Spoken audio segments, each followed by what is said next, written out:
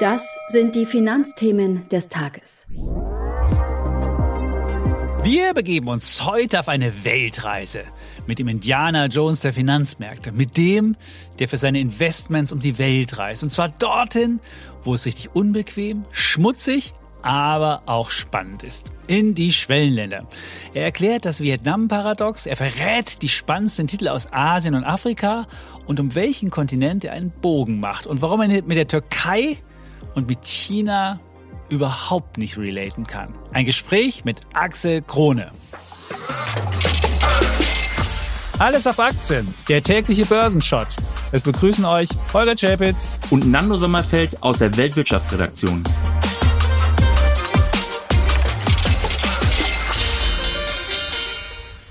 Die im Podcast besprochenen Aktien und Fonds stellen keine spezifischen Kauf- oder Anlageempfehlungen dar. Die Moderatoren und der Verlag haften nicht für etwaige Verluste, die aufgrund der Umsetzung der Gedanken oder Ideen entstehen. Heute ist Samstag, der 14. Januar und der DAX hat eine weitere starke Woche hinter sich. Nach fast 5% sind es in dieser Woche mehr als 3%. Und jetzt sind 8,4 ja, 8,4 insgesamt seit Jahresanfang und damit äh, mehr als eine durchschnittliche Jahresperformance, jetzt schon nach zwei Wochen. Ähm, anders als zu Jahresbeginn ging es diesmal auch an der Wall Street kräftig nach oben. S&P 500 plus 2,7 Prozent und die Nasdaq 100 4,5 Prozent im Plus. Das ist die beste Woche seit November. Hm, das Jahr fühlt sich irgendwie bisher das umgekehrte Jahr 2022 an. Letztes Jahr hatten wir ja steigende Inflation, steigende Zinsen, steigender Dollar, fallende Aktien, Tod der Meme-Aktien, Absturz von Krypto. Und jetzt haben wir genau das Gegenteil. Der Dollar fällt, Krypto hat so ein gewisses Comeback. Bitcoin seit Jahresanfang plus 14, Ether plus 14 und die äh, Meme-Stocks haben auch wieder ein Comeback. Der Roundhill Meme ETF hat 13 Prozent gewonnen und so Meme-Stocks wie Peloton 47 Prozent im Plus und Coinbase plus 41, AMC plus 23. Unsere Jahrhundertaktie Sommerfeld, Airbnb plus 18, GameStop yeah. plus 11 und Plug Power plus 33. Ja, Wahnsinn, das ist schon ein bisschen. Oder? Man fragt also wir hatten ja öfter die These aufgestellt und eigentlich waren sich auch alle einig, dass sich so ein bisschen die Spreu vom Weizen gerade bei Tech mhm. trennen könnte oder getrennt haben sollte. Aber ich meine, Peloton ist definitiv Spreu und ja, Coinbase. Naja, aber vielleicht so war die genau. ja, die haben ja noch ein paar Abos gehabt und ich meine, mit den Fahrrädern haben sie keinen Gewinn gemacht, aber mit den Abos noch und vielleicht war die jetzt auch ein bisschen zu weit runtergekommen. Also muss man unterscheiden, aber natürlich bei vielen würde ich auch denken, ist es einfach ja, bei eine Short, eine Short Rally. Das ist einfach eine Short ja, Rally, wo du einfach Leute sind Short und denken, hey, das erste Halbjahr wird sowieso Mist. Das haben ja viele gedacht mit, dieser, mit diesen Ideen. Und dann auf einmal gibt es so ein, so ein wahnsinniges Comeback und dann musst du halt dich eindecken und dann geht halt auch der Shit mit nach oben und dann wird hier nicht getrennt nach Spreu von Weizen, sondern geht einfach alles hoch. Ja, erstmal ja. vielleicht. Aber tatsächlich wenig fundamentale Gründe, dass Peloton jetzt 50 Prozent steigt oder äh, Plug Power um ein Drittel. Aber im DAX muss man sagen, es ist äh, das Phänomen auch ein wenig zu beobachten, natürlich auf mhm. soliderem Niveau, muss man sagen. Aber wenn wir gucken, wer da in dieser Woche äh, ganz weit vorne ist, äh, Sartorius ist ja tatsächlich auch ein stark verprügelter Wert und Vonovia stark im Plus mit 11 Prozent. Und was auch spannend ist, nämlich in zweierlei Hinsicht, Zalando, ja, auch gebeutelt in den letzten Monaten plus 8 Prozent. Aber wenn man dann mal guckt, äh, wo so richtig eine Schere auseinandergeht. Ähm, wenn About You erging es ja in dieser Woche und auch schon in den Wochen davor nicht so richtig. Da gibt es so eine Abkopplung, wirklich. Ja. Diese Woche hat ja About You mit nach den Zahlen bzw. dem Ausblick, da hat man halt festgestellt, dass die Leute alle durch Rabatte verwöhnt sind und einfach nur rabattierten Kram gekauft haben. Ich hätte so eine Aktion für die ersten 10.000, die jetzt kaufen, die kriegen 50 Prozent auf den gesamten Einkauf. Und ich meine, wenn du die Leute so abrichtest und immer du auf die App gegangen bist, saßt du, kamst du gar nicht mehr aus den Rabatten raus. Und das ist eine schwierige Sache. Du kannst natürlich dann deine Umsätze noch irgendwie hinbekommen. Das haben sie hinbekommen, muss man gestehen.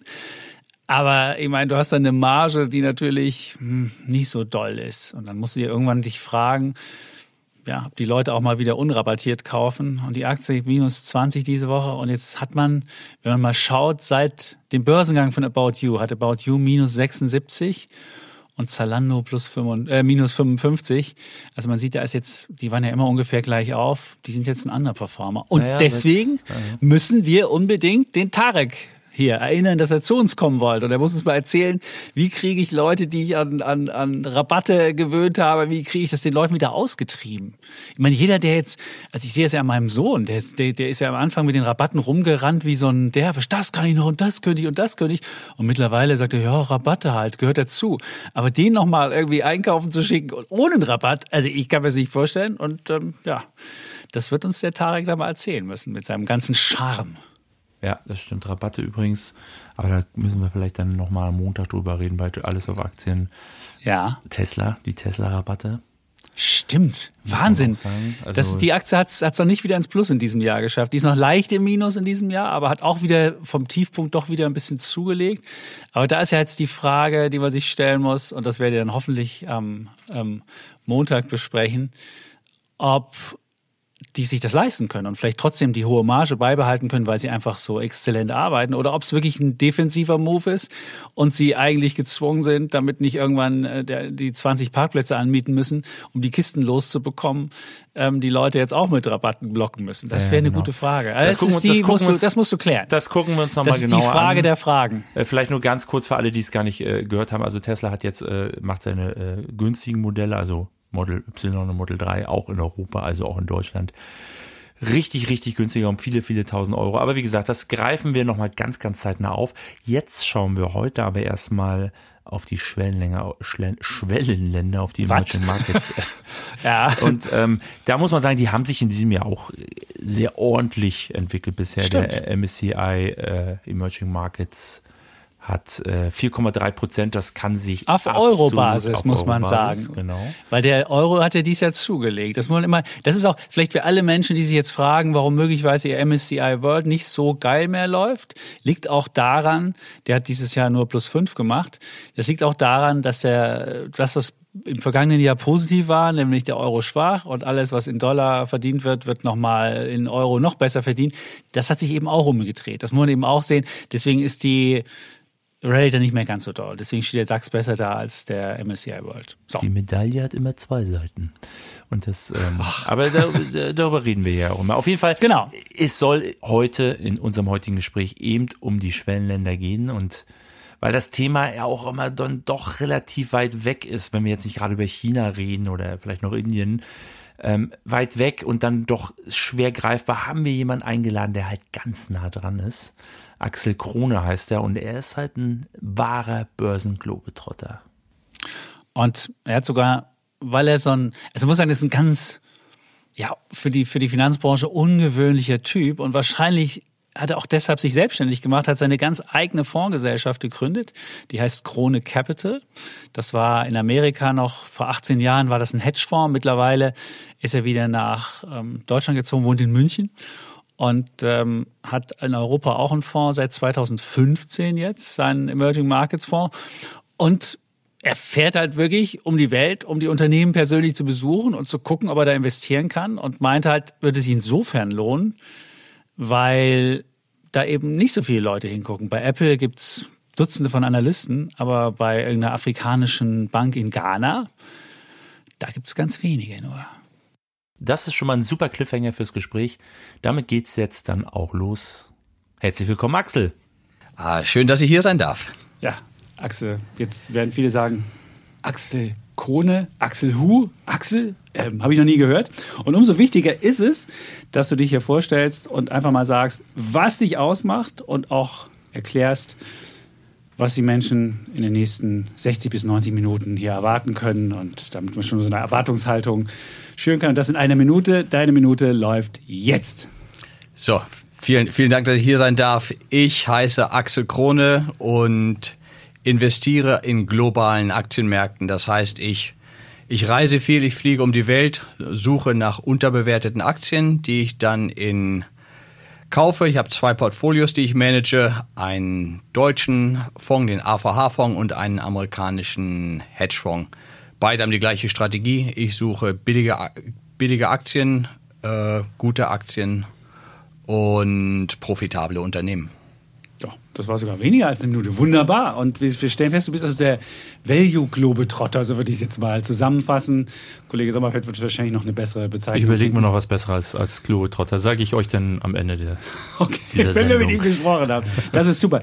Jetzt werden viele sagen, okay, der Mann macht sich auf die Suche nach unterbewerteten Unternehmen in Schwellenländern. Und bei Schwellenländern denkt man so, oh, wie komme ich denn überhaupt hin? Ja, darf ich da gar nicht einreisen? Da steht ein Autokrat an der Grenze, dann habe ich irgendwie den Polizisten muss ich schmieren, damit ich überhaupt da hinkomme zum Unternehmen. Und Emerging Markets, Schwellenländer sind immer so ein bisschen problematisch und viele fragen sich, warum muss ich das überhaupt haben? Und dann, dann äh, kann ich gar nicht sehen, ob die bilanziert haben. Und dann passiert das, dann gibt es Sanktionen und dann fangen die an, Krieg zu machen und dies und das. Erklär vielleicht den Menschen am Anfang mal, warum man Emerging Markets zu einem ganzheitlichen Depot dazugehört. Also erstmal, ich denke, jeder muss da investieren, was für, was für einen selber passt. Und wenn einer sagt, mir gefällt das nicht in Emerging Markets, ich möchte lieber im DAX investieren oder ich möchte in französische Bilder oder italienischen Wein investieren, dann musste das jeder machen. Nicht? Das muss, muss für einen selber Sinn machen. Und Emerging Markets heißt nicht nur Autokraten, was auch immer. Ich, äh, Emerging Markets feiern ja an, wenn man von hier 100 Kilometer nach Osten fährt. Nicht? Das ist Polen ist Emerging Market, äh, Ungarn ist Emerging Market, äh, Tschechien ist Emerging Market und nicht? wer schon mal in Kroatien war, der merkt, da, da sind keine Leute, keine bösen Leute, die auf einen warten und die Menschen sind ganz sind nicht weniger ehrlich als, als hier in der guten Bundesrepublik Deutschland. Vielleicht mal ganz kurz die Definition. Also das wird sicherlich schon viel überraschen. Was wo grenzen wir uns denn ab? Also wo beginnt der Emerging Market?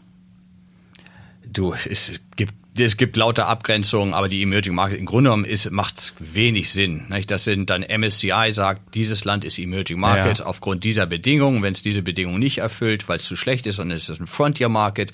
Ist total subjektiv, was irgendwelche Komitees machen, sagen. Okay, aber warum würdest du jetzt beispielsweise sagen, ist Polen, warum zählt Polen dazu? aus deiner Sicht? Du, weil es MSCI, weil, weil jemand anders das sagt. Ne? Ich, okay. ich, ich suche es mir nicht aus. Nicht? Und die haben gesagt, es war mal Griechenland, war auch mal Emerging, war erstmal entwickeltes Land, dann gelten sie als Emerging Market, jetzt gilt es als Frontier Market. Okay. Nicht? Zypern genauso. Und also du hast dann Länder wie, diese, deshalb sind diese ganzen Emerging Market Indices sind auch ein Haufen Blödsinn, weil wie, wie gewichtest du diese Länder? Hast du dann eben nur nach Market Cap, dann hast du, hast du China, China, China dabei oder was vielleicht noch, jetzt hast du Südkorea dabei. Und das ist, glaube ich, auch im Emerging Market, eins der größten Länder, wenn du schon mal in Seoul warst. Ich meine, dagegen ist Berlin eine Agrargesellschaft. Nicht? Das ist super modern.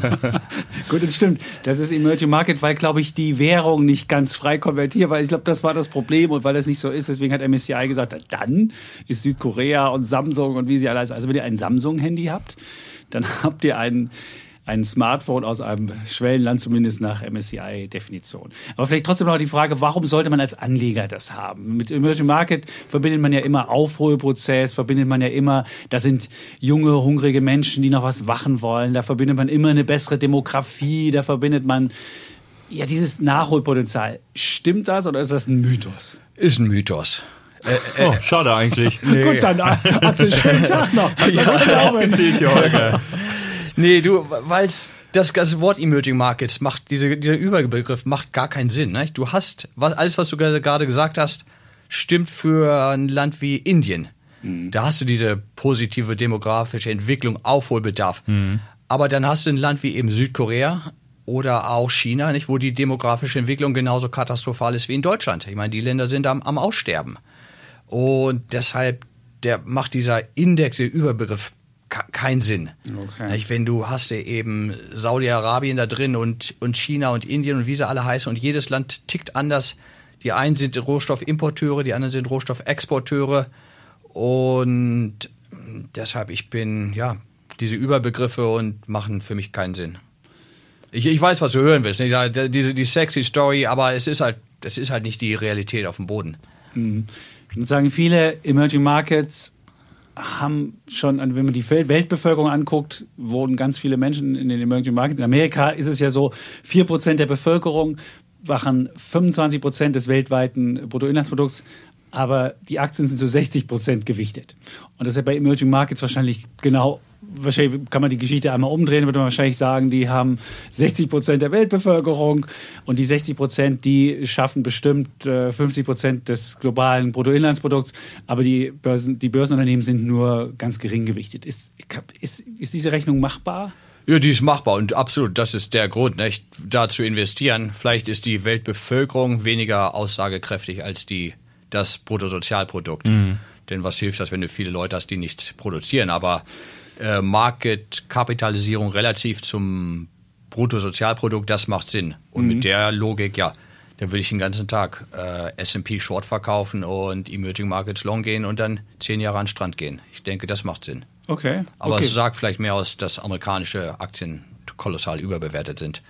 In meiner Ansicht. Aber ich lag da schon viele Jahre falsch. Stimmt, wir haben schon viele Jahre mit, mit, mit Underperformance Emerging Markets. Es gab ja mal Zeiten, wo sie über Jahre hinweg eigentlich besser performt haben. Und es ist ja auch klar, eine Asset-Klasse, die risikoreicher ist, die hat zwar höhere Schwankungen, sollte aber per Definition dann auch am Ende einen höheren Return machen, weil immer Rendite, Risiko äh, es bedingt sich immer miteinander.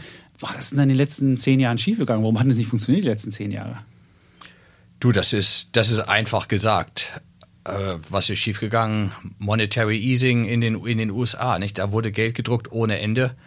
Und jeder Institutional, jeder, jeder Endowment, jeder Fonds, groß, klein, privat, Leute, wo haben alle investiert? Die haben alle in Tesla und Apple und Microsoft den ganzen Tag investiert. Und je schlechter die Emerging Markets liefen, umso kleiniger wurde die Gewichtung, umso mehr Geld wurde abgezogen, denn jeder guckt, okay, was ist im letzten Jahr gelaufen? Ja, nicht, nicht Nigeria, sondern Tesla, nicht? Wo wird das Geld investiert? Ja, in Tesla, nicht? Das, was am meisten läuft, läuft immer wer. Das ist ja, und dann hast du dazu noch die ganzen, das Phänomen des passiven Investieren, wo die Großen, je mehr gewichtet bist, desto mehr Geld kriegst du. Und das war, das war der Kreislauf. Mhm. Dass die Emerging Markets Fonds, diese ganzen Templeton, Mark Möbius und Morgan Stanley Emerging Markets, die haben alle kolossal an, die haben fast kein Geld mehr. Die haben alles Geld abge abgegeben, weil die Investoren haben alle Gelder abgezogen und alles in den Nasdaq gesetzt. Also wir sehen, jetzt gibt es da eine Dazu kommt noch China, muss man sagen. Ne? Das hat natürlich jetzt auch den, den, den Produkten auch nicht so äh, gut getan. Und Russland letzten, wahrscheinlich auch nicht. Russland hm. wahrscheinlich, aber die waren natürlich nicht so hochgewichtet, aber. Doch, die hat mit ihren ganzen Rohstoffunternehmen, gab es auch ein bisschen Russland, würde ich vermuten, aber jetzt, wahrscheinlich ist es weniger. Aber jetzt könnten wir ja sagen, können wir uns darauf einigen, Emerging Markets sind deshalb auch eine gute ja, Zusammenmischung, weil wenn es dieses Peak Amerika gibt, und man hat Emerging Markets auch mit dem Portfolio, dann ist man auf jeden Fall für diese Situation gut vorbereitet und hat noch ein paar günstigere bewertete ähm, Produkte. Wir haben ja diese Woche auch bei Alles auf Aktien mal Emerging Markets vorgestellt. Da haben wir festgestellt, wenn man mal den breiten Index anguckt, so schwachsinnig du den auch hältst, ist ja egal, hat ein KGV aus einem Kursgewinnverhältnis von 11 und wenn man den MSCI, also den MSCI Emerging Market, und wenn man MSCI World anguckt, wo ja nur die Industriestaaten drin sind, die sind mit einem Kursgewinnverhältnis von 17 bewertet. Da sieht man ja schon die unterschiedliche Bewertung. Und dann können wir uns darauf einigen, also da kann man was machen. Nun wollen wir aber ja, weil du gesagt hast, nicht jedes Land ist gleich und man sollte sie nicht unter eine Wache, wollen wir natürlich jetzt gleich uns auf die, auf die Suche begeben. Und natürlich wollen die Leute vorher mal wissen, warum fährt er zu den Unternehmen hin? Da könntest du ja auch irgendwie seinen Bloomberg aufklappen und könnte dann da die Unternehmen sich angucken. Du scheinst ja irgendwie so eine, ich, ich nenne es Globetrotter, ähm, wie wolltest du es nennen? Kosmopolit vielleicht. Kosmopolit, okay. Mhm. Also er sagt, finanzieller Kosmopolit. Der finanzielle Kosmopolit. Börsenkosmopolit. Börsenkosmopolit. Das klingt besser als, als Börsen äh. Jetzt wollen wir natürlich wissen, wie bist du auf so eine Globetrotter? Muss man irgendwie auch wahrscheinlich Spaß dran haben, Neugier haben, Leute zu sehen, Sachen äh, zu erleben. Vielleicht sagst du kurz, wie du in die Finanz, äh, die Finanz äh, ähm, Branche reingestolpert bist oder wie du reingekommen bist, damit wir ungefähr wissen, warum, äh, warum du so ein, so ein Kosmopolit bist. Also mit dem, mit dem Titel, dass ich noch was zur Diskussion beisteuern kann. Ich ja. wurde schon Indiana Jones des, Invest oh. des, des Value ah. Investierens genannt. Indiana Jones, das ist aber cool. Ja, da hätten wir auch drauf kommen können. Ey, Mist. Jetzt okay. sind wir hier in der Sendung bloßgestellt. Können wir das rausschneiden? Nein. nee, das nehmen wir vielleicht sogar als Überschrift. Mal gucken. Das stimmt. Ja, da kommt ja zumal jetzt auch wieder ein neuer Kinofilm, glaube ich, von Indiana Jones kommt. Das heißt, auch die jüngere Generation wird kennenlernen, wer. Die relaten damit. Ja. Aber nicht mit Harrison Ford, oder? Ich fürchte fast, ja. Uff, wow. Solange der noch lebt, glaube ich, wird es auch mit Harrison Ford sein. Der war ja vor 30 Jahren ähm, geil. aber wir schweifen ab. Also okay. Aber er ist noch der junge Harrison Ford, den wir ja, das Fall. können wir schon mal sagen. Wir machen nachher auch noch ein Bild. Da gibt es für dich? Auf jeden Fall. also er hatte, hatte nicht die, er hatte nicht die ja. Okay, also wo ging deine Reise als Indiana Jones äh, Wo begann sie? äh, los? Ich bin geboren Oder worden begann irgendwann. Würde ich vermuten. so ist auch Indiana Jones gekommen. So. Äh, ich, ja, wo, wo ging die Reise los? Einfach, ich hatte schon immer als, ich meine, ich komme aus, bin an, in Hannover geboren, die Deutschlands heimliche Hauptstadt. Oh, Ja. Sehr schön. Und ich hatte schon immer an Börsen und Finanzmärkten einfach Interesse. Ich weiß nicht warum, aber es war so. Hab nie, dachte nie, dass ich das irgendwie professionell machen könnte. Hab dann Komm, die, deine erste Aktie wollen wir noch kurz hören, damit wir das auch noch, damit wir das abgehakt haben. Ich weiß, das ist für viele immer meine lang- erste Aktie war ich mit 15 gekauft, da war eine südafrikanische Goldmine. Ja, Da ging schon los. Da ging's Da, schon los. da ging schon los, genau. okay. Und die ich natürlich mit wenig Geld gekauft habe und wahrscheinlich mit noch weniger Geld verkauft Wie, habe. du musstest dann deine Eltern mitnehmen? Zur, wie, wie war das? Und, Du, keine Ahnung, irgendwie, habe ich- irgendwie habe ich ein Depot gehabt bei der, bei der, bei der Volksbank und dann habe ich eine Aktie kaufen können. Das Okay, da gab es noch, ich glaube, hast du bestimmt 50 Euro an, an Gebühr bezahlt pro. Ich- da kann man sich nicht mehr dran. Gut, okay. Scheißegal, ja, Ja. egal. Ich weiß es nicht. Auf jeden Fall, ich habe dann äh, nach dem Abitur habe ich Bauingenieur studiert auf Dringen meines Vaters, wobei ich war kein guter oder besonders nicht leidenschaftlicher Ingenieur. Habe dann eine Green Card gewonnen Nee, was hast du, was hast du konstruiert? Noch deine coolste Konstruktion, die du gemacht hast? und Mülldeponie. Das, Okay. ist, das ist sexy, oder? Immerhin. Immerhin. Jetzt- Zukunftsbusiness heutzutage. Genau. Heute ist Zukunft. Ja, damals hat es nur gestunken, als ich auf der Baustelle war. Du hast eine Mülldeponie richtig Ja, konstruiert. ich habe es nicht konstruiert, ich war der Bauleiter. Ich war da, ich war der, der da hinging mit 23. Okay. Da musste ich noch nicht rasieren, sah aus wie 17. Okay, musste dem Polier gesagt, wo bist du der neue Praktikant? Ich habe gesagt, nee, ich bin dein Chef. Und, Und der Polier war begeistert. nee, und dann war ich da verantwortlich für 100 Leute und was Ah. wie viel Millionen Bauvolumen. Und die haben alle auf dich gehört. du weißt was, es, es hat funktioniert, einfach, musste einfach auf die Leute zugehen. Da sag hier, ich bin nicht, ich bin nicht der Einzige, der hier studiert hat, sondern hier Polier, du machst seit 30 Jahren, sag mir, wie es geht. Und, und hilf mir, und wir machen, wir, wir machen das zusammen für die Firma. Nicht? Und hab, das ist so, wenn du den Leuten Respekt zeigst, dann kriegst du auch von jedem Respekt wieder, nicht? Und dass du einfach dann morgens um 6 Uhr auf der Baustelle bist und wenn es draußen minus 5 Grad ist, bringst du eine Flasche Schnaps mit für die Maurer und dann gibst du in der Mittagspause, nicht? Und dann, dann reden sie mit dir. Und dann kriegst du auch, verhandelst du fair mit denen. Jetzt wissen wir schon, auch, jetzt kann ich mir schon vorstellen, wie du auch dein Anlagestil ist, dass du Respekt den Leuten zollst, auf die Leute zugehst. Das ist auf jeden Fall besser, weil du mehr von den Leuten erfährst, als wenn du hingehst und sagst, ey, ich hier Chef. Und dann sagen die so, ey, was? Ja. Das ist schon mal gut. Okay, also du bist Bauingenieur. Jetzt kommst du zur Green Card und sagst, irgendwie scheint das ja nicht so deine Berufung gewesen zu sein. Du hast ja schon angedeutet. Und wie bewirbt man sich bei einer Green Card? Da muss man ja auch auf die Idee kommen. Ich habe in Kalifornien Urlaub gemacht und dachte, oh, das ist aber geil hier. Besseres Wetter als in Hannover und hier möchte ich bleiben. Ja. Und bin dann zurückgegangen nach Deutschland und habe dann da vier, fünf Jahre noch gelebt nach meinem Urlaub und habe immer Als jedes... Bauingenieur? Als Bauingenieur, ja. Ich habe studiert, Bauingenieur und dann habe ich dann... Irgendwann habe ich einen Brief gekriegt und gesagt, willkommen. Und dann bin ich zur Botschaft gegangen und habe mich da, hab da die Unterlagen abgegeben und dann ein einfaches äh, One-Way-Ticket nach San Diego gebucht. Und dann... Also du hast tatsächlich eine Green Card dann bekommen. Ne? Ich meine, die Wahrscheinlichkeit ist ja nicht sehr hoch, ne? Muss man 1 zu sagen. 100 ungefähr war es damals. Ja, war, war gering, aber klar, mit jedem Jahr verbessern sich die Chancen und ein bisschen Glück gehabt. Und ja. Wie alt warst du da? 25. Okay, One Way in Silicon Valley. Ja, weiter südlich, an Ja, der gut, mexikanische okay. Grenze Gut, zum, zum ja. Tacos. Aber es war Okay. auch gut. Ja. Auch warm. Damals gab es noch kein Airbnb wahrscheinlich und du konntest, wie hast du deine Hütte gekriegt, gefunden? Du, ich habe in der Jugendherberge gewohnt. Ich habe alle, alle Habseligkeiten, die ich hatte, habe ich mitgenommen und im, im Achtbettzimmer geschlafen, habe einen Job gefunden, habe immer gehofft, dass ich, wenn ich wiederkomme, dass meine Habseligkeiten noch da sind, alle. Weil ich hatte Oh. nichts. Okay. Aber Was so. war denn der Plan? Also wie, ich meine, dann warst du da und dann warst du im Hostel und Du, ich hatte, ich hatte einen super Plan. Der Plan war, ich kaufe einen Bus, wo, wo zehn Leute reinpassen und da sammle ich lauter Touristen ein und dann mache ich nur Tours runden an, an Mexiko, schlafe am Strand und, und trinke Corona. Und das ist meine Karriere. Okay, ist aber nach einem. Äh, Wenn du 25 bist, nicht? Und wie ist es dann gekommen? Ja, dann bin ich zu ein paar, dann habe ich mich nach Bussen erkundigt und dann habe ich mich erkundigt, wie man einen kommerziellen Führerschein macht und dann bin ich zu Jugendherbergen gegangen, habe gesagt, hier, das habe ich vor und dann haben sie gesagt, ja, so einer wie du kommt einmal im Monat und der kommt nie ein zweites Mal. und dann wusste ich, okay, ich brauche einen anderen Job. ja, gut, und dann? Dann dachte du, Mensch, ich habe doch diese Aktie mal gekauft. Wie wär's denn damit? Oder? Ja, erst musste, ich- erst musste ich mal Geld verdienen. Dann habe ich als Tellerwäscher gearbeitet. Oh, der Klassiker.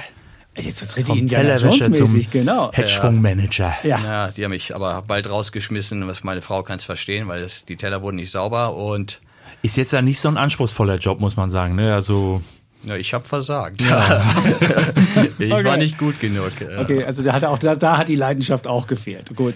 Jo. Mit dem Bauingenieur-Kram konntest du nichts anfangen in ich Amerika. hatte- die haben doch so eine schlechte Infrastruktur. Da Ich- hättest du sagen können, hey, ich baue euch eine Brücke Ich hin. ich wollte Wie wär's mal mit unterirdisch die Stromleitung verlegen oder so? War nix. Nee, das war von Anfang an klar, dass ich das nicht wollte. Und dann habe ich eine Kleinanzeige gesehen in der, in der lokalen Zeitung und da stand dann Stockbroker Wanted, High Income, High Career und was auch immer. Das hatte ich angeschaut. Gut. Ja, und dann habe ich da angerufen und die haben mich sofort, die haben gesagt, okay, komm sofort vorbei. Kannst, kannst hier anfangen dann und, Mhm. und dann war das, ich weiß, ihr kennt ja sicher The Wolf of Wall Street. ja, da habe ich auch wirklich sofort dran gedacht. das war's. gerade. Ja, das genau war's, ne? so. Da war's, Okay. das war so. Ich so am Telefon. Die ganz seriösen Typen. Und und dann Penny Stock verkaufen. Total. Nur. Wirklich? Ja, ja, absolut. Das ging morgens um 6 Uhr ging's los, hast du New York angerufen und dann jede Zeitzone weitergearbeitet. Nee, um 5. Um 5 Uhr. Denn 5 Uhr war Okay. 5 Uhr morgens angefangen, es war 8 Uhr New York. Und dann mit jeder Zeitzone, dass die Leute, ab 8 Uhr darf man Leute anrufen. Komm, die, die drei besten Tipps, wie man einen Penny Stock verkauft. Jetzt für mich mal hier live. So ein Lifehack. Was sagt man da? Okay, ich kann mit Stolz sagen, ich habe keine einzige Aktie verkauft, ich habe kein einziges Konto eröffnet, weil die Leute haben mich gar nicht verstanden. Die wussten gar nicht, welche Sprache ich spreche, weil ich hatte so einen starken deutschen Akzent. Aber immerhin Hochdeutsch. Ne? Aus Hannover kommen die Hochdeutsch. Ja. Ja, gut, aber- aber mit dem Englisch hat's dann. Also, also da hat es auch nicht geklappt. Nee, jetzt, da- da- jetzt bist du da. Aber was hast du denn dann den ganzen Tag gemacht? Du, ich, ich habe tausend Telefonate am Tag gemacht und habe irgendwelche wildfremden Leute angerufen und gesagt, hier, my name is Axel Kron with Wickler Associates. Uh, I would like to give you some free financial advice. Und dann war es immer klick, klick, klick. Wenn du, du, es ist der Herd, Some free financial advice. Das ist der How to become rich with Excel. ist der härteste Job der Welt. Also ich habe mir oft, absolut, den Okay. ganzen Tag nur Absagen. Ich hätte mir gewünscht, ich würde äh, irgendwelche im Tiefbau arbeiten nur mit der Schaufel. Das wäre leichter gewesen als tausendmal am Tag nur Absagen. Aber lernt man da nicht auch was draus, dass du mit, mit Zurückweisung leben lernst? Das ist ja auch ein, das ist ja auch ein Resilienzkriterium. Im Leben wird man ja noch, noch mehrere Absagen kriegen und gerade die ganze Generation Snowflake, wie man sie noch heutzutage nennt, hat ja nie gelernt, richtig mit Absagen. Selbst beim, beim Dating hast du vorher noch gematcht dich mit dem Handy, dann musst du noch nicht mal hingehen, musst du sagen, ey, hallo, sondern du wischst, okay, passt und, und nicht mal da kriegst du eine Rück. Ist das, ist das was Sinnvolles im Leben? Ja, ich habe hab in der Disco ja tausende, tausend Absagen schon gekriegt, wenn ich mich überhaupt getraut habe, in, Aber- in, in, innerhalb von drei Du Metern warst von richtiger zu Erfolgstyp gehen. ne, zu der Ja. Zeit. Ja, schon. So, okay. Gut. Also, jetzt wieder- Totaler- ja, ganze- Totaler Trottel. Okay. Absagen kassieren als Broker. Das gefällt mir. Das ist ein guter, cooler Job. Aber, aber bist du auf Provisionsbasis bezahlt worden oder was hast du denn da gekriegt? Nur Oder warst du dann derjenige, der irgendwie für gute Stimmung vor Ort sorgt? Ich habe ich hab 700, 700 Dollar im Monat gekriegt.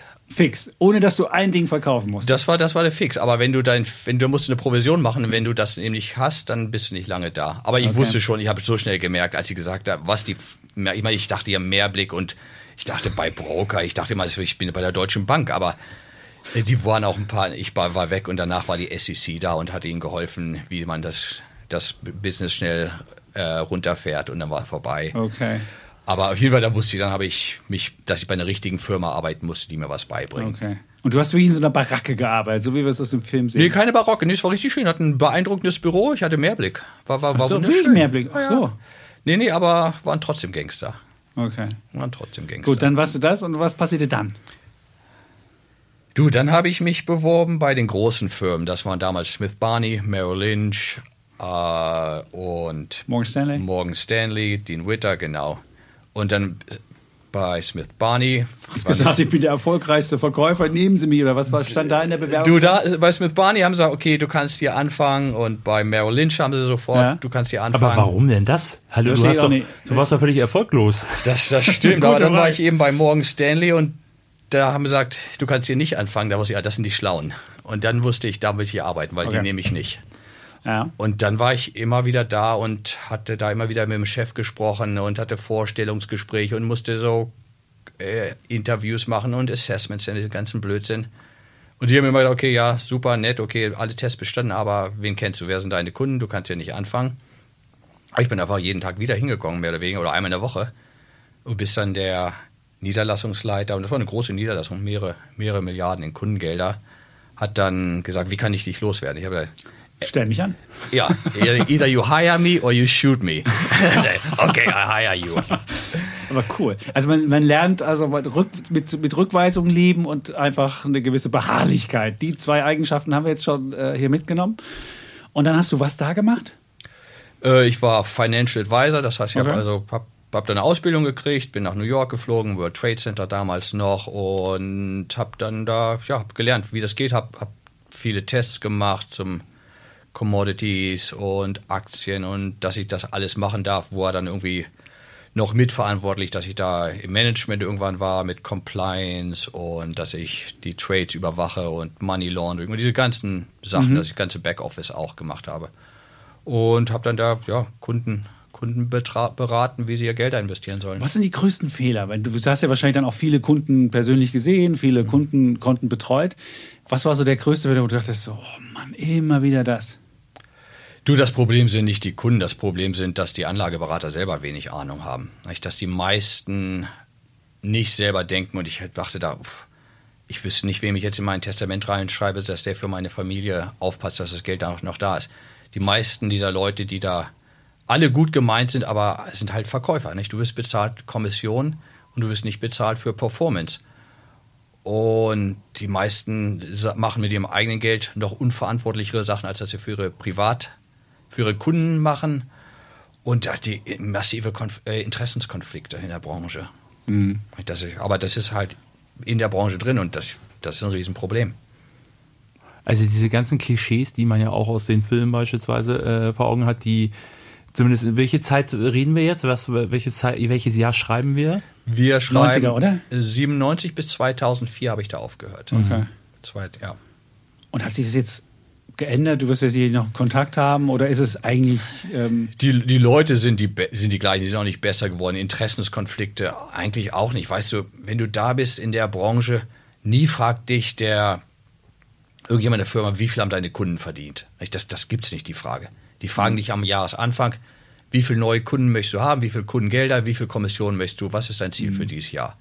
Und wenn du es nicht erreichst, dann fragen sie, was ist passiert. Und äh, das ist es im Grunde genommen. Und das Einzige, was sie wollen, dass du nichts machst, äh, dass, deine kind, dass deine Kunden dich verklagen. Also du, sollst, du darfst in keine Penny Stocks oder irgendwas machen. So, solange du das was, was machst, was alle machen, möglichst konventionell, hast du immer deinen Job und die Kunden gehen auch nicht weg. Nicht? Kannst du immer entschuldigen. Ja, S&P underperformed, outperformed, aber dann hast du immer zehn Fonds drin und dann redest halt über den einen, der gut gelaufen ist. Und die andere sagt, aber guck mal, oder ich sage, ich habe dir auch schon gesagt, du sollst dein Haus nicht verkaufen. Ne? Dein Haus ist doch gestiegen, auch wenn alle meine Tipps gefallen sind. Aber ich verstehe das immer nicht mit dieser, das hört man ja oft, dass das, dass das funktioniert. Ähm, aber ich meine, die Kunden sind die dann so finanziell unmündig oder im Unklaren, dass sie nicht checken, dass das keine rentablen Geldanlagen sind? Ich meine, das sind ja auch keine Privatkunden oft, ne? Das sind ja dann irgendwelche. Du, das meiste sind Privatkunden, Nando, aber weißt du was, trotz alledem muss ich sagen, viele sind trotzdem in besseren Händen, als wenn sie es selber machen würden. Es nimmt schon ein bisschen, ist eine gewisse, äh, so ein Speedbump, es nimmt ein bisschen die Anlageentscheidung, wird ja, ein bisschen okay. weniger rausgenommen. Wenn der Markt 30 Prozent fällt, im Zweifel dein Broker sagt dir, verkauf nicht. Heißt nicht, mhm. dass er dir nicht mal, dass er nicht einen falschen Fonds verkauft, aber im Zweifel sagt er jetzt nicht verkaufen. Nicht? Jetzt bleib dabei, bleib bei der Stange, investier noch mehr. Sagt er dir beim Höchststand verkaufen? Nee, auch nicht, weil dann sind sie alle auf dem gleichen High. Aber jemanden, der ein bisschen berät und sagt, vor sich selber schützt, ist schon eine gute Sache, wenn man, würde ich sagen. Okay, okay, dann haben wir schon was. Aber dieses Klischee von, wo sind die Yachten der Kunden, was in diesem Buch geschrieben wurde, das würdest du auch sozusagen, das stimmt auch. Absolut, das ist mein Lieblingsbuch. Ja, ja, total. okay. Ja, ja. ja. Gut, dann haben wir das jetzt auch. Dann hast du irgendwann aufgehört damit. Was war das Erweckungserlebnis? Also, das Erweckungserlebnis war, dass ich der schlechteste Verkäufer war, den Morgan Stanley je hatte, dass ich wenig das und dass ich wenig Kunden hatte, wenig Kundengelder und dass ich äh, einfach auch wenig Spaß daran hatte, Leute irgendwas zu verkaufen, dass ich weil ich auch nicht gut drin bin wahrscheinlich, aber ich hat mich, mich hat die Recherche interessiert. Das Investieren in Aktien und günstige, gute Aktien zu finden, die mehr wert werden. Das hat mich mhm. interessiert. Und das war der Kicker für mich. Und das ist es immer noch. Oh, cool. Also so ein, so ein, Value-Gedanke, die, die Suche nach unterbewerteten Aktien, wo sehe ich was, was der Markt nicht sieht, so eine, so eine Geschichte. Und das hatte ich angenommen und dachte irgendwann, hey, jetzt mache ich mich da selbstständig. Nun könnte ja der eine wird auf die Idee gehen, in Amerika gibt es eigentlich relativ viele Aktien, wahrscheinlich value-mäßig auch. Da könntest du ja bleiben können. Aber du hast jetzt gesagt, nee, ich will woanders tätig werden. Wie, wie kam das dann? Äh, du, das Problem war damals schon und ist heute noch mehr grundsätzlich und das ist war auch der Grund, weil ich sage, warum, wenn du in Emerging Markets investieren möchtest oder wo auch immer nicht, es ist uns kein, viel weniger Leute da, es ist viel weniger Konkurrenz. Wenn ich mir den S&P 500 angucke oder den DAX oder nenne, eine große Aktie, nicht jeden Morgen wachen da eben Tausende von Portfolio-Managern, Analysten auf, Zehntausende, Hunderttausende von Privatinvestoren, gucken sich den Preis an, gucken sich die Nachrichten an. Und ich bin einfach zu doof, dass ich weiß, ich bin jetzt schlauer als die alle. Nicht? Ich, ich bin ich nicht. Ich habe nicht mehr Zugang zu irgendwelchen Managern, ich habe nicht mehr Ahnung. Die Märkte sind einfach so effizient, mhm. dass ich, das für mich ist ausgeschlossen, dass ich da irgendwie Ein was hast. Okay. Zero, null. Ja. Absolut null. Und ja, keiner, keiner guckt irgendwie mal wirklich eben sich polnische Nebenwerte an. Nicht? Der, selbst wenn du hier 100 Kilometer von der polnischen Grenze entfernt wohnst. Das, das machen wir halt nicht. Du guckst ja eher, wir haben all diesen Home Bias. Wir gucken uns mhm. die Aktien an, wo wir sind. Und damals habe ich in einem Newsletter gelesen, dass eben Aktien in Vietnam wahnsinnig billig sind. Äh, Gab es 20 Aktien und ich war einer der ersten, der da war dann. Und dann habe ich die gesehen, habe gesagt, okay, die sind billig, die sind super günstig. Die unter die Wirtschaft boomt, die Leute haben, haben mir gefallen, die waren wahnsinnig hungrig und habe die ja, Firmen besucht dann vor Ort. Teilweise wollten sie gleich, dass ich in den Aufsichtsrat gehe, weil ich war das war erste weiße Gesicht, was sie da seit, äh, seit dem Vietnamkrieg gesehen haben. Und dachten, ich weiß irgendwas, was die nicht wissen. Aber ich sage, ja, ich spreche noch nicht mal eure Sprache. Nicht? Ich, bin, ich bin total unqualifiziert. Als Aufsichtsrat muss man vielleicht ja, nur da du, sein. Aber wenn die Sprache nicht spricht, das ist nicht hilfreich. Ja. Aber auf jeden Fall, hab dann da investiert. Aber im Moment, jetzt, muss, ja. jetzt, jetzt musst du ja irgendwann die Idee haben, okay, ich will da investieren kapiert. Ja. Und dann musst du ja auch noch irgendwie deine anrufen und sagen, hi, Axel hier. Und dann sagen die, und du so, ja, ich will investieren. Und wie, wie, wie ich meine, die, der muss ja irgendwie erstmal da Kontakt aufnehmen, muss dann, muss dann auch irgendwie, die müssen ja auch sagen, ja klar, Axel, ich will jetzt, das, ich gebe dir Auskunft oder ich mache dir die Tür auf oder sagen so, ey, nee ich habe Besseres zu tun, als irgendeinem Typen, der hier angefahren kommt, irgendwie noch was zu erklären. Äh, vielleicht erzählst du uns, wie du das gemacht hast. Und du, es sind zwei Geschichten, aber ich meine, jetzt ist es für mich so, jetzt ist es einfach. Nicht? Jetzt habe ich, ich habe Broker, ich habe Kontakte und ich habe hab, hab zwei, hab zwei Fonds und habe Kunden, habe Gelder, nicht, dass ich ja, rufe meinen Broker an und ich bin jetzt, ich fliege nächste Woche nach Asien, bin dann da zwei Wochen und sehe Unternehmen in halb, ja, was soll man, halbes Dutzend Ländern. Und da habe ich gesagt, hier in Indonesien bin ich, ich möchte am Montag die und die und die Firmen sehen und in Manila möchte ich am Mittwoch die, die fünf Firmen sehen. Und in Vietnam, da habe ich Zeit und ich weiß nicht, was sagt ihr, schlagt ihr mal was vor und dann bitte organisiert die Meetings und dann, dann ruft der Broker, was meistens auch die größte Bank ist, rufen dann die Firma an und dann sagen hier, amerikanischer, deutscher Investor möchte mit einem, mit einem CFO, CEO sich unterhalten. Und dann sagen die, okay, super, passt. Und das ist einfach. So läuft es heute. So läuft heute. Mhm, genau. Praktisch, wenn du jetzt wieder rüberfliegst. Ja, mhm. ganz genau. Und wie lief es damals? Weil das ist ja tatsächlich die Frage, da, da war ja, es geht ja schon los, wo, woher kommt die Kohle eigentlich? Du, damals, ne, damals war es leicht. Das war meine 20.000 Dollar eigene Kohle, die ich hatte. Ja. Mit oh. 20.000 fährst du hin und sagst, liebe Freunde in Vietnam, da kostet der Flug ja schon fast zu viel. Nein, nicht ganz, aber. Na, du, was soll's, das war, das war alles, was ich das hatte. Das hat gereicht?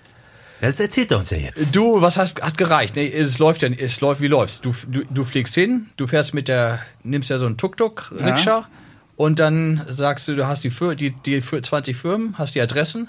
Ja. Und dann bin ich wirklich mit meiner Freundin, jetzt haben wir drei Kinder auch, äh, dahin gefahren und haben gesagt, okay, hier, ich, ich bin Axel, ich möchte gerne mit deinem Chef sprechen.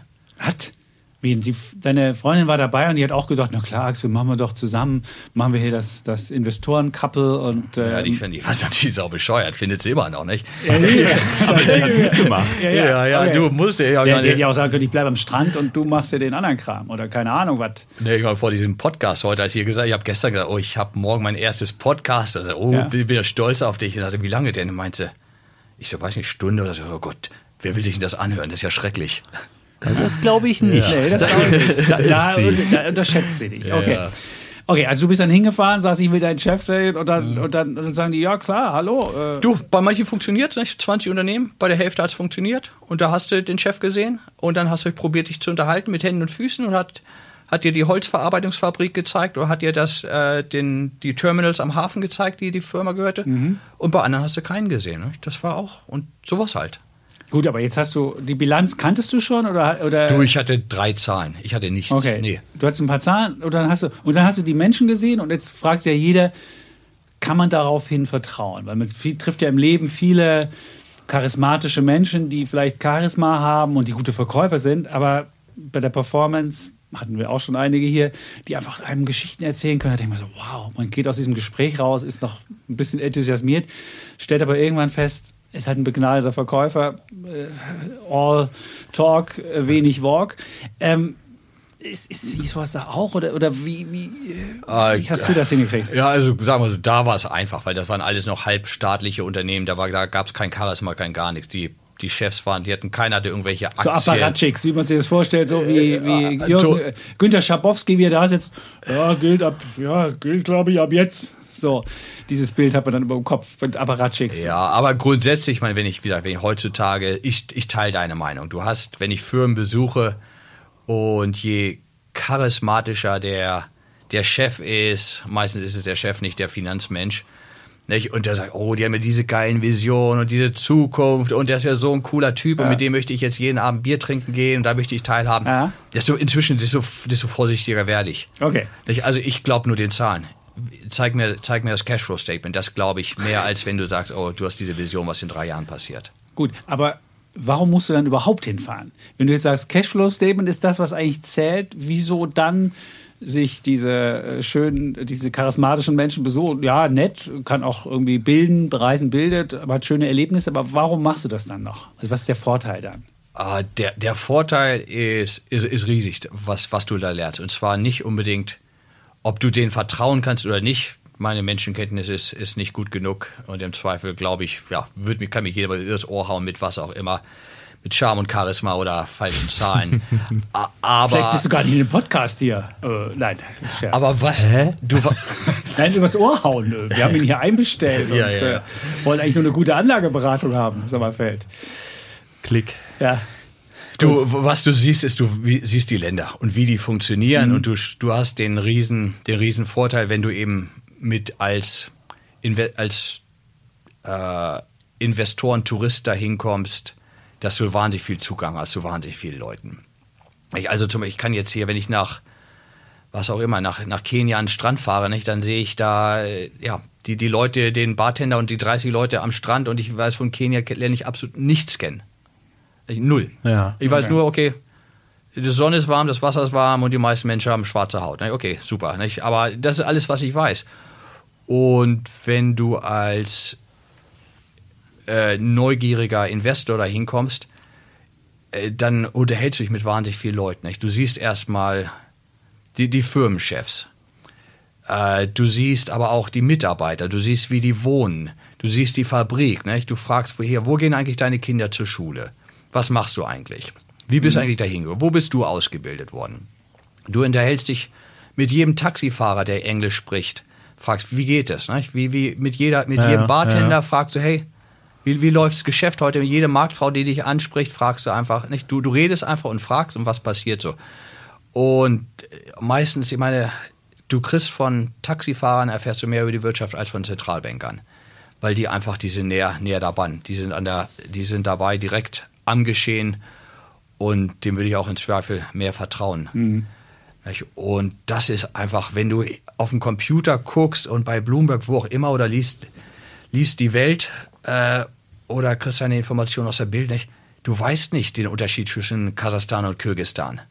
Nicht? Du weißt nicht den Unterschied zwischen Bolivien und Peru. Wenn du nicht wirklich mal da bist und mit den Leuten sprichst und dann erfährst du auch wirklich, du siehst irgendwelche Zahlen, irgendwelche IWF, Statistiken, wie die Wirtschaft läuft, dann bist du vor Ort und dann siehst du, wie die Wirtschaft wirklich läuft. Und wie, wie, wo kommt dann die Investmentidee her? Also klar, ne, du hast, du hast die, kennst die Hintergründe, die Unterschiede, hier sind irgendwie Ineffizienzen, äh, die kann man im Zweifel heben. Wo ist denn der Punkt, wo du sagst, da ist jetzt ein, ein Geschäftsmodell, da ist eine Investmentchance, eine Investmentidee. Nennen wir jetzt mal Kenia. Vielleicht gab es da ja irgendwas, wo du gesagt hast, das war besonders spannend, nachdem ich mich irgendwie mit zwölf Taxifahrern unterhalten habe. Äh, also grundsätzlich die Firmen, also der Investment Case, Nando, ist, ist, ist super simpel. Ich meine, das sind alles Firmen, Investments, da brauchst du eine IQ von 80 für, äh, um die zu machen, was es nicht, nicht viel mehr ist, als was ich habe. Nicht? Na klar. Äh, das ist so einfach, einfach. Du Die hast, Frau glaubt es auch noch, glaube ich. du hast eine Brauerei, die hat 90 Prozent, 95 Prozent Marktanteil, hat ein KGV von 5 und, und 12 Prozent Dividende und wächst, nicht? Und dass sie wächst, siehst du, dass draußen werden jeden Tag neu- zwei neue Kunden geboren. Ich sag, was musst du wissen? Nicht? Das ist einfach wahnsinnig einfach. Aber vielleicht können die sich nicht leisten, das Bier. Äh, Oder irgendwann sagt der, gibt es einen Autokrat, der sagt, ach, Alkohol verbieten wir mal. Dann müssen sie irgendwie so wie, wie Budweiser in, bei der, während der WM dann Budweiser Light verkaufen. Und ich so, ach, kann das nicht irgendwie sowas? Also ich, ich ganz so einfach stelle ich es mir jetzt nicht vor. Doch, doch, ist so einfach. Ist so einfach. Ist so, Ist- ist so Äh, einfach. Ist so einfach, wirklich. Ich So meine, simpel. So simpel. Guck mal, ich, ich habe zum Beispiel eine Brauerei gesehen, Murray Brewery in Pakistan. Und dachte, ich wollte ich mir die mal angucken. Dann bin ich nach Pakistan geflogen. Und dann dachte ich, ups, da komme ich gar nicht hin, weil Überschwemmung ist. Nee, es gibt gar kein, es gab nirgendwo Bier. Es war ist totales Alkoholverbot im ganzen Land. Okay. Und ich dachte, ich habe nirgendwo das Produkt gesehen. Ich dachte, na gut, da muss ich nicht investieren, weil es ist, das ist total trocken. Das ist wie Saudi-Arabien oder sowas. Und im Gegensatz dazu bist du eben eine Brauerei in Wirkt von InBev oder wie mal, die haben ja, Ja. der letzte Name ist in Ecuador. Also ja, triffst dich mit denen, sagt westliches Management, sind aber im ganzen, weil die im ganzen InBev-Konzern groß geworden sind und da von Land zu Land gehen. Super Effizienz und äh, die Aktien sind genauso günstig bewertet, wie ich es beschrieben habe. Und dann frage ich, okay, und was ist euer, wie, wie ist euer Marktanteil oder wie viele Mitbewerber gibt es? Und sage, ja, wir sind, ich habe ihr habt das Monopol, sagte, nein, wir haben nicht das Monopol, wir sind der wir Dominant Market Player. Was ich sage, was heißt das? Das heißt, wir haben 95% Marktanteil. Ich so, okay, und wer sind die anderen 5%? Das sind Imp- Importe, die sind aber eigentlich zu teuer. Ich sage, also habt das Monopol. Sag, nein, das sagen wir ungern, das Wort. Ich, okay. Du hast alles, was du wissen musst. Saubere Bilanz, Jahre profitabel. Und dann musst du nicht wissen über Es könnte doch der nächste Gesundheitstrend kommen, die Leute wollen kein Bier mehr trinken. Ja. Oder es passiert folgendes, das Land steigt auf und auf einmal ist, ist das ausländische Bier, das musst du dir leisten können, das willst du dann trinken und nicht die heimische Plörre. Weiß ich nicht. Ich bin aufge aufgewachsen in Leipzig, da gab es Sternburg-Pilz, äh, läuft immer noch im Westen auch, aber weiß ich nicht, vielleicht sagen die Leute irgendwann, ich bin, ich fühle mich reicher, ich will kein Sternburg-Pilz mehr trinken und dann hast du aber mal Marktanteil nur noch 80, 70 und dann geht's runter. Das kann doch passieren. Also Ja, du, dann, dann verkaufst die Aktien, nicht?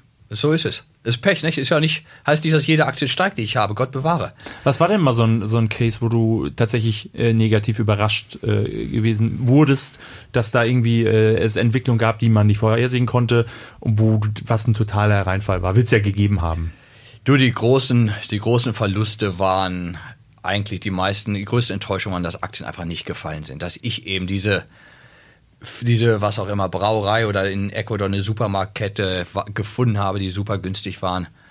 Und das Geschäft ist so und wächst jedes Jahr seine 5, 7 Prozent und dann die Währung verliert aber auch jedes Jahr 5, 7 Prozent. Und nach fünf Jahren irgendwie hat die Aktie ist sie immer noch genauso billig wie vorher, und dann bist du einfach frustriert und verkaufst oder was oder ist oder 20 Prozent billiger, keine Ahnung. Okay. Das sind so die großen Sachen. Es ist, weißt du, die Firmen, die ich kaufe, sind einfach so wahnsinnig langweilig. Ich, meine, ich a, a, absolut langweilig und ich suche langweilig. Also das ist auch nicht sexy, Wachstum, XY. nicht die letzte TikTok-Plattform in, äh, weiß ich nicht, in Brunei. Nee, eben, da, das alles nicht. Ich habe nur Firmen, die sind wirklich, die sind hochprofitabel, machen schon immer, sind, äh, zahlen meistens Dividenden, wachsen ein bisschen und da ist einfach wenig Überraschung, wenig Schulden.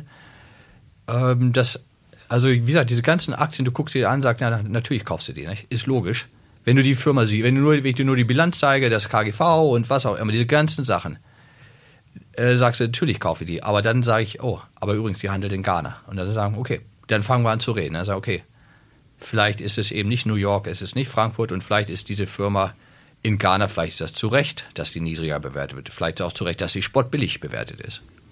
Genau. Cheap for a reason, wie es so schön heißt. Also wenn man jetzt hier auf solche Aktien immer schaut und guck mal, das ist irgendwie eine ghanaische Perle, dann heißt es immer, ah, schwer investierbar, kommt man nicht ran oder was auch immer. Wie machst du das? Ich meine, du bist vor Ort, also du wirst ja, man wird ja investieren können. Welche Schwierigkeiten bringt das mit sich, beziehungsweise wie investiert man dann beispielsweise vor Ort am besten? Äh, fragst du jetzt für mich persönlich oder für eure Hörer? Nee, schon für dich. Also für wie dich du das, und wie für du die das Hörer. machst. Ne? Also vielleicht Ja. sagst du dazu, okay, du wirst wahrscheinlich über deinen Broker, die dann handeln und irgendwie wird das funktionieren. Richtig, Aber ja. kann das auch ein europäischer Investor, kann das auch ein normaler Kann auch, auf jeden Fall. Du, ich, ich, und ich habe es persönlich gemacht. Wie gesagt, ich habe eine Firma, so eine Brauerei, SAB Miller, genauso war super billig gefunden in Mosambik. Okay. Bin dann nach Mosambik geflogen, habe für mich selber, die war zu klein, zu illiquide, dass ich die für den Fonds kaufen Ja. konnte, habe die für mich selber gekauft. Bin da hingegangen zu äh, Stanbic, Stanbic Banker, habe gesagt, hier, ich möchte gerne ein Konto öffnen und Geld überwiesen, Aktien gekauft und fünf Jahre später mit, oder was auch immer mit Profit verkauft. Gut, das jetzt nicht für den normalen Menschen. Sag mal eine Aktie, die man auch normal hier über, weiß ich nicht, Comdirect, vielleicht nicht unbedingt über Trade Republic, aber vielleicht bei Comdirect oder bei Consors oder bei den oder ING, bei den größeren Brokern, die man kaufen könnte. Äh, ich habe, also grundsätzlich diese Märkte, ich vermute, ich weiß nicht, wie du da handeln kannst, ich vermute nicht, aber das ist auch, was ich mache. Nicht? Ich, wie gesagt, was ich am Anfang gesagt habe, ich gehe dahin, wo keine Konkurrenz ist. Nicht? Wenn es da ADRs in London gibt und New York, dann kann sie fast jeder kaufen. Aber ich habe auch ein, zwei in London, ein, zwei ADRs und ein, zwei Firmen in Frankreich zum Beispiel, äh, die total äh, äh, to- total in Gabon das Geschäft. Äh, das Symbol ist, wenn du jetzt guckst, ist ECFP. Und habe die seit, ja, seit über einem Jahr, haben, eben, haben in Gabon das Monopol. Die meisten Aktien, die Aktien gehören zum großen Teil der Total. Total mit der Regierung von Gabon, die du eigentlich auch mit dem Boot haben willst, nicht? dass es da keine Interessenskonflikte gibt. Und wenn du KGV anguckst, das ist, sieht nicht so attraktiv aus, weil das eben, wenn es Cashflow ist bei Ölfirmen, manchmal ist, ist meistens wichtiger. Aber haben diese, was immer, siehst nicht, 35% Dividende. Und die habe ich auch schon gekriegt in den letzten zwölf Monaten. nicht? Der Aktienkurs hat sich nicht verändert und das Ganze in französischen Franc. Äh, das ist zum Beispiel eine andere Firma in Frankreich ist äh, Esso, aber das gehört, ist es Super Value, aber es gehört zur ExxonMobil. Okay. Äh, ECFP ist das, das Symbol. Und das ist eine Firma, Marktbewertung ist ungefähr 700 Millionen oder aber sowas. CFP ist die ist Total Energy. oh nee, EP. ES, Entschuldigung. ESFP. ES, ja. EcoSam. Okay. ES. Okay. Und Ist so fran français. Ja, nicht die meist 80 Prozent oder sowas gehören der äh, ExxonMobil, der alte Rock Okay. Rockefeller-Firma. Ja. Und ah ja, Marktbewertung ist 700 Millionen. Ich habe im letzten Jahr eine Milliarde verdient. Ich hast ein KGV von unter 1, haben keine Schulden, äh, weiß nicht, halbe Milliarde oder sowas in Cash. Und das sind solche Sachen, wie gesagt, musste kein Genie sein und muss, ist keine schwierige Entscheidung. Muss nur hoffen, die ist schon immer billig. Ich meine, ich habe sie gekauft und seitdem habe ich Geld verloren, weil das KGV von, von was hier, von 0,8 auf 0,6 ging, nicht? oder was auch immer es ist. Nicht? Es ist einfach, äh, wann die die Dividende zahlen, keine Ahnung. Das ist eine Firma, weißt du, wenn ich zu irgendeiner kleinen Firma in Indonesien gehe, die reden mit mir, oder auch eine große Firma in Indonesien, die Blue Chips, da rede ich mit dem Chef.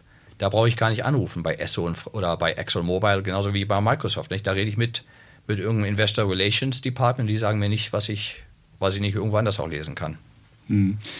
Jetzt sagst du ja, du brichst in der kommenden Woche nach Asien auf. Vietnam war dabei. Und was ich mich immer gefragt habe, Vietnam gilt ja, müsste ja eigentlich einer der großen Profiteure davon sein, dass jetzt Unternehmen sagen, ah, China, alles in China, das ist mir zu klumpenrisikomäßig. Apple versucht ja auch einen Teil auszulagern nach Vietnam und da haben sie angeblich jetzt schon ganz schön viel oder nach Indien. Aber der Markt in Vietnam ist überhaupt nicht gelaufen. Und man denkt sich so, ey, wie kann das sein, dass eigentlich ein Land, was jetzt profitieren soll davon, dass die Menschen kritischer auf China gucken, nicht läuft? Äh, Das, das Land hat, hat wahnsinnig profitiert. Ich meine, seit ich da war, das erste Mal war vor, ja, wann war es? 2002, ü- vor 20 Jahren. Ich meine, da waren alle noch mit, äh, mit, dem Fahrrad, mit dem Fahrrad gefahren und mit kleinen Dreirädern und, mit- und mit Mopeds und das war's. Und, wenn du heu und dann kamen die, Äh, dann kam alles nur noch Mofas und die Fahrräder waren verboten auf einmal in, in Saigon. Und dann wurden die Fahrräder wurden abgesetzt durch, durch Autos. Und dann hast du die kleinen Toyotas gesehen. Heute siehst du, siehst du mehr Rolls-Royce als in München und Berlin da. Gigantischer Wachstum. Also es ist wirklich phänomenal, was das Land geschaffen hat.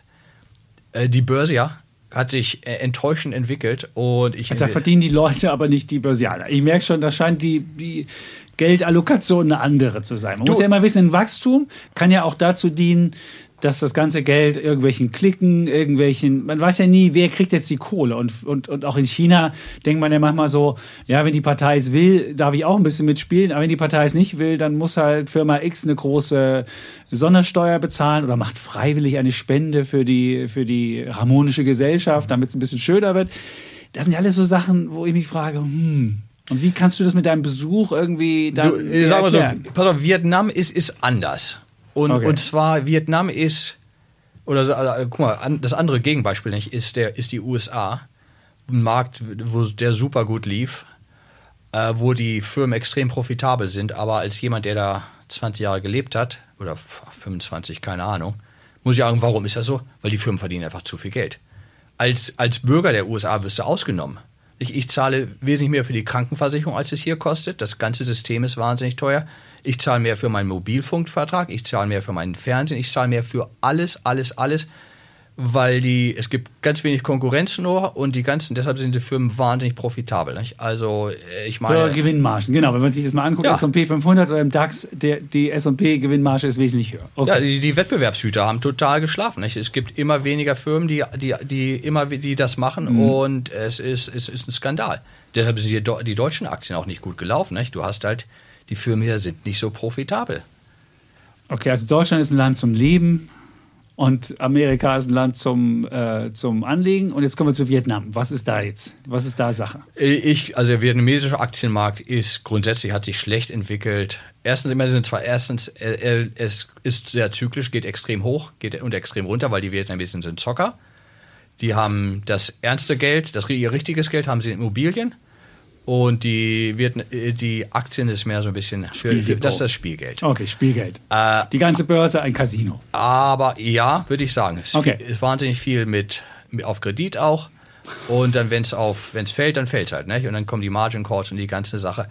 Aber dazu kommt noch, dass die Firmen auch wenige wirklich an Profit, so wahnsinnig profitabel sind, trotz dieses Wachstums. Der Markt ist super competitive. Du hast äh, sehr gut ausgebildete Menschen, Vietnamesen, aber auch Vietnamesen, die von, die wieder zurückkommen aus den USA, aus London, die da westliches Know-how mitbringen. Meiste gibt es inzwischen vor Ort. Es gibt viel Kapital und die sind wahnsinnig hungrig. Das heißt, jeder, wenn irgendeiner irgendwie einen Vorteil hat, viel Geld verdient, dann, dann kommt die Konkurrenz und macht das gleiche. Und arbitragiert das weg. Das ist so ein perfekter Total. Markt, wie wir das hier eigentlich in, in, im Studium gelernt haben. Den, den gibt es da, absolut. Und deshalb, wer bleibt auf der Strecke? Die, die Investoren, die da probieren, Geld zu verdienen an Aktienmärkten, weil einfach die Firmen nicht langfristig stark wachsen und stark, stark Geld verdienen. Was, was gut ist für die Menschen. Ne? Ja, warum fährst du denn überhaupt hin? Dann sagst du, okay, das genau. Land habe ich verstanden, wird nichts für mich, nehme ich, brauche ich auch nicht hinzufahren. Warum, warum soll man dann Vietnam machen? Äh, du, man soll es gar nicht machen. Aber so. ich habe es, was ich dir in drei, gerade in drei Minuten gesagt habe, habe ich 20 Jahre gebraucht, um das zu lernen. Ne, hier, du siehst es. Das ist mal Mehrwert hier. Ja. Ne, ich, ich war zwölfmal da im Land, bis ich es verstanden habe. Warum, warum funktioniert denn das nicht? Ich sehe, das Land wird reicher. Du fliegst ja, ja. am Freitag hin und eine Woche später fliegst du weg und da, wo eben noch so ein, so ein kleiner Suppenladen ist, ist jetzt Starbucks und da gibt es auf einmal ein neues Hochhaus, was es vor zwei Wochen noch nicht gab. Und du denkst ja, warum verdiene ich denn kein Geld? Ja, gute ja. Frage, genau. Ja, jetzt okay, da weißt Das heißt ja dann aber auch, in Vietnam wirst du dich nicht so lange aufhalten. Doch, wird er länger, aber da wird er vielleicht Aber dann wahrscheinlich gucken. Doch am Strand? Du, ich bin in Vietnam nur, ich bin an Freitag und gucke mir Firmen an und am Samstag bin ich da und dann, dann weiß ich, das ist immer noch ein billiges Land und für 12 Dollar kannst du Mittag essen, Essen, Bier und eine Massage für 12 Dollar. Dann ich sage, okay, das ist ein guter Tag. Gut, dafür kann man mal einen Stop be machen. Bevor ich dann abends weiterfliege. Genau, und wo fliegst du denn hin? Weil wo sind sozusagen die Chancen größer? Genau, wo, wird, wo werden die Leute ausgenommen und man kann als Aktionär was gewinnen? Jetzt wollen wir mal die Länder kennenlernen.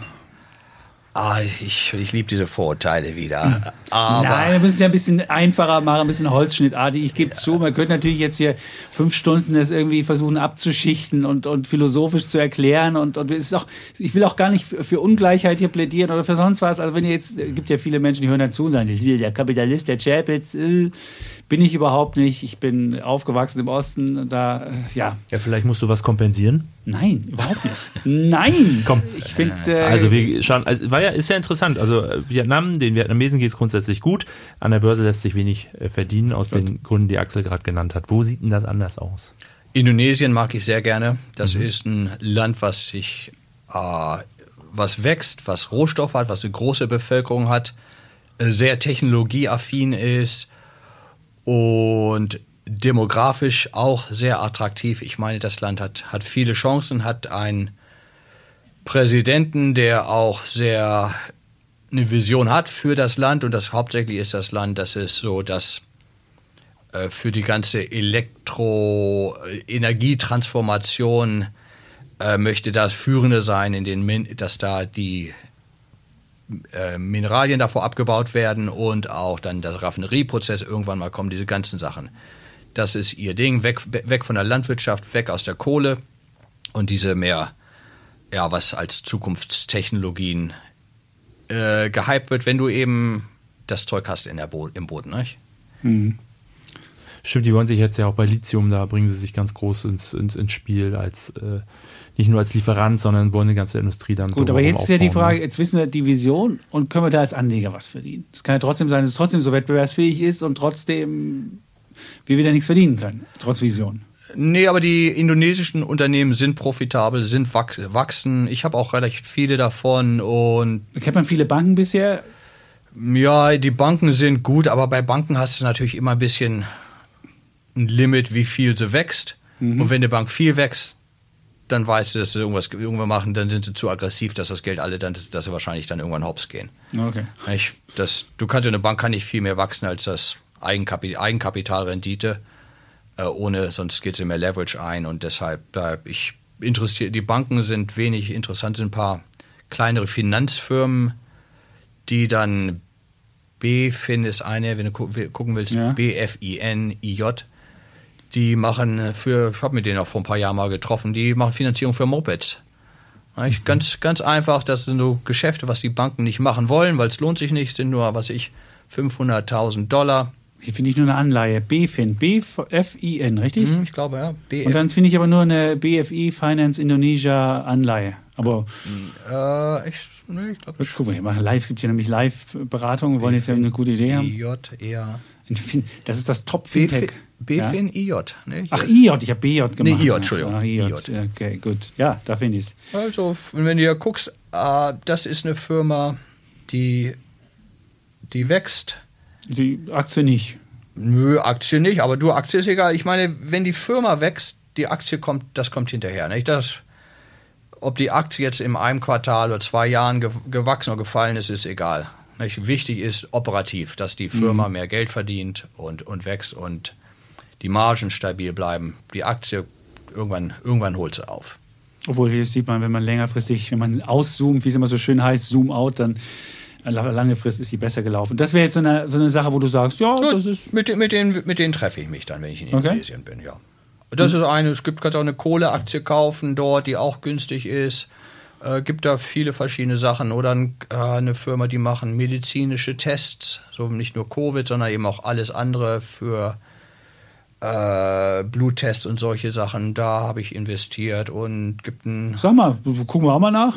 Also Kohle wäre jetzt nicht so mein Ding. Äh, was heißt, du hast einen Medizintest, das klingt doch nach nur. Äh, kann ich dir, kann ich dir zeigen. Ich muss mal ganz kurz das PTBA ist, glaube ich, das Symbol, wenn wir hier schon mal am Fachsimpeln sind. Ja.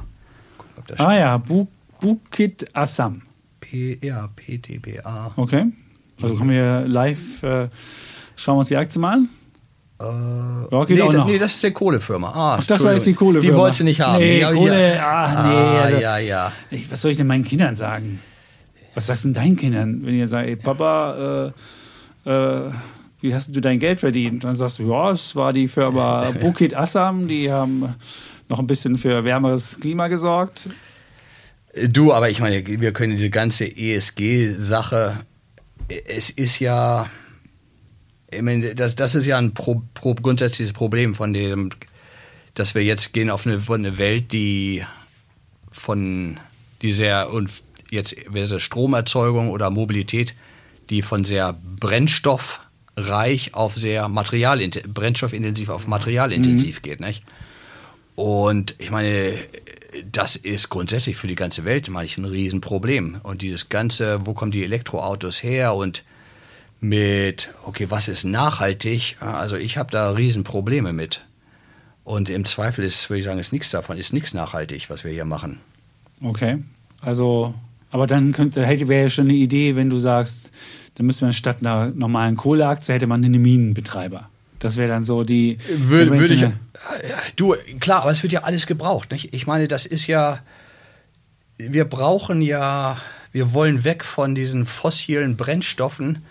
Aber im letzten Jahr wurde doppelt so viel Energie mit Holz gewonnen wie mit Wind und Solar global. Nicht? Also wir kommen einfach nicht weg. Mhm. Und jede Energiequelle, die dazukommt, wir, wir brauchen ja als Menschen immer mehr, immer mehr. Wir sind ja total abhängig von, von Energie.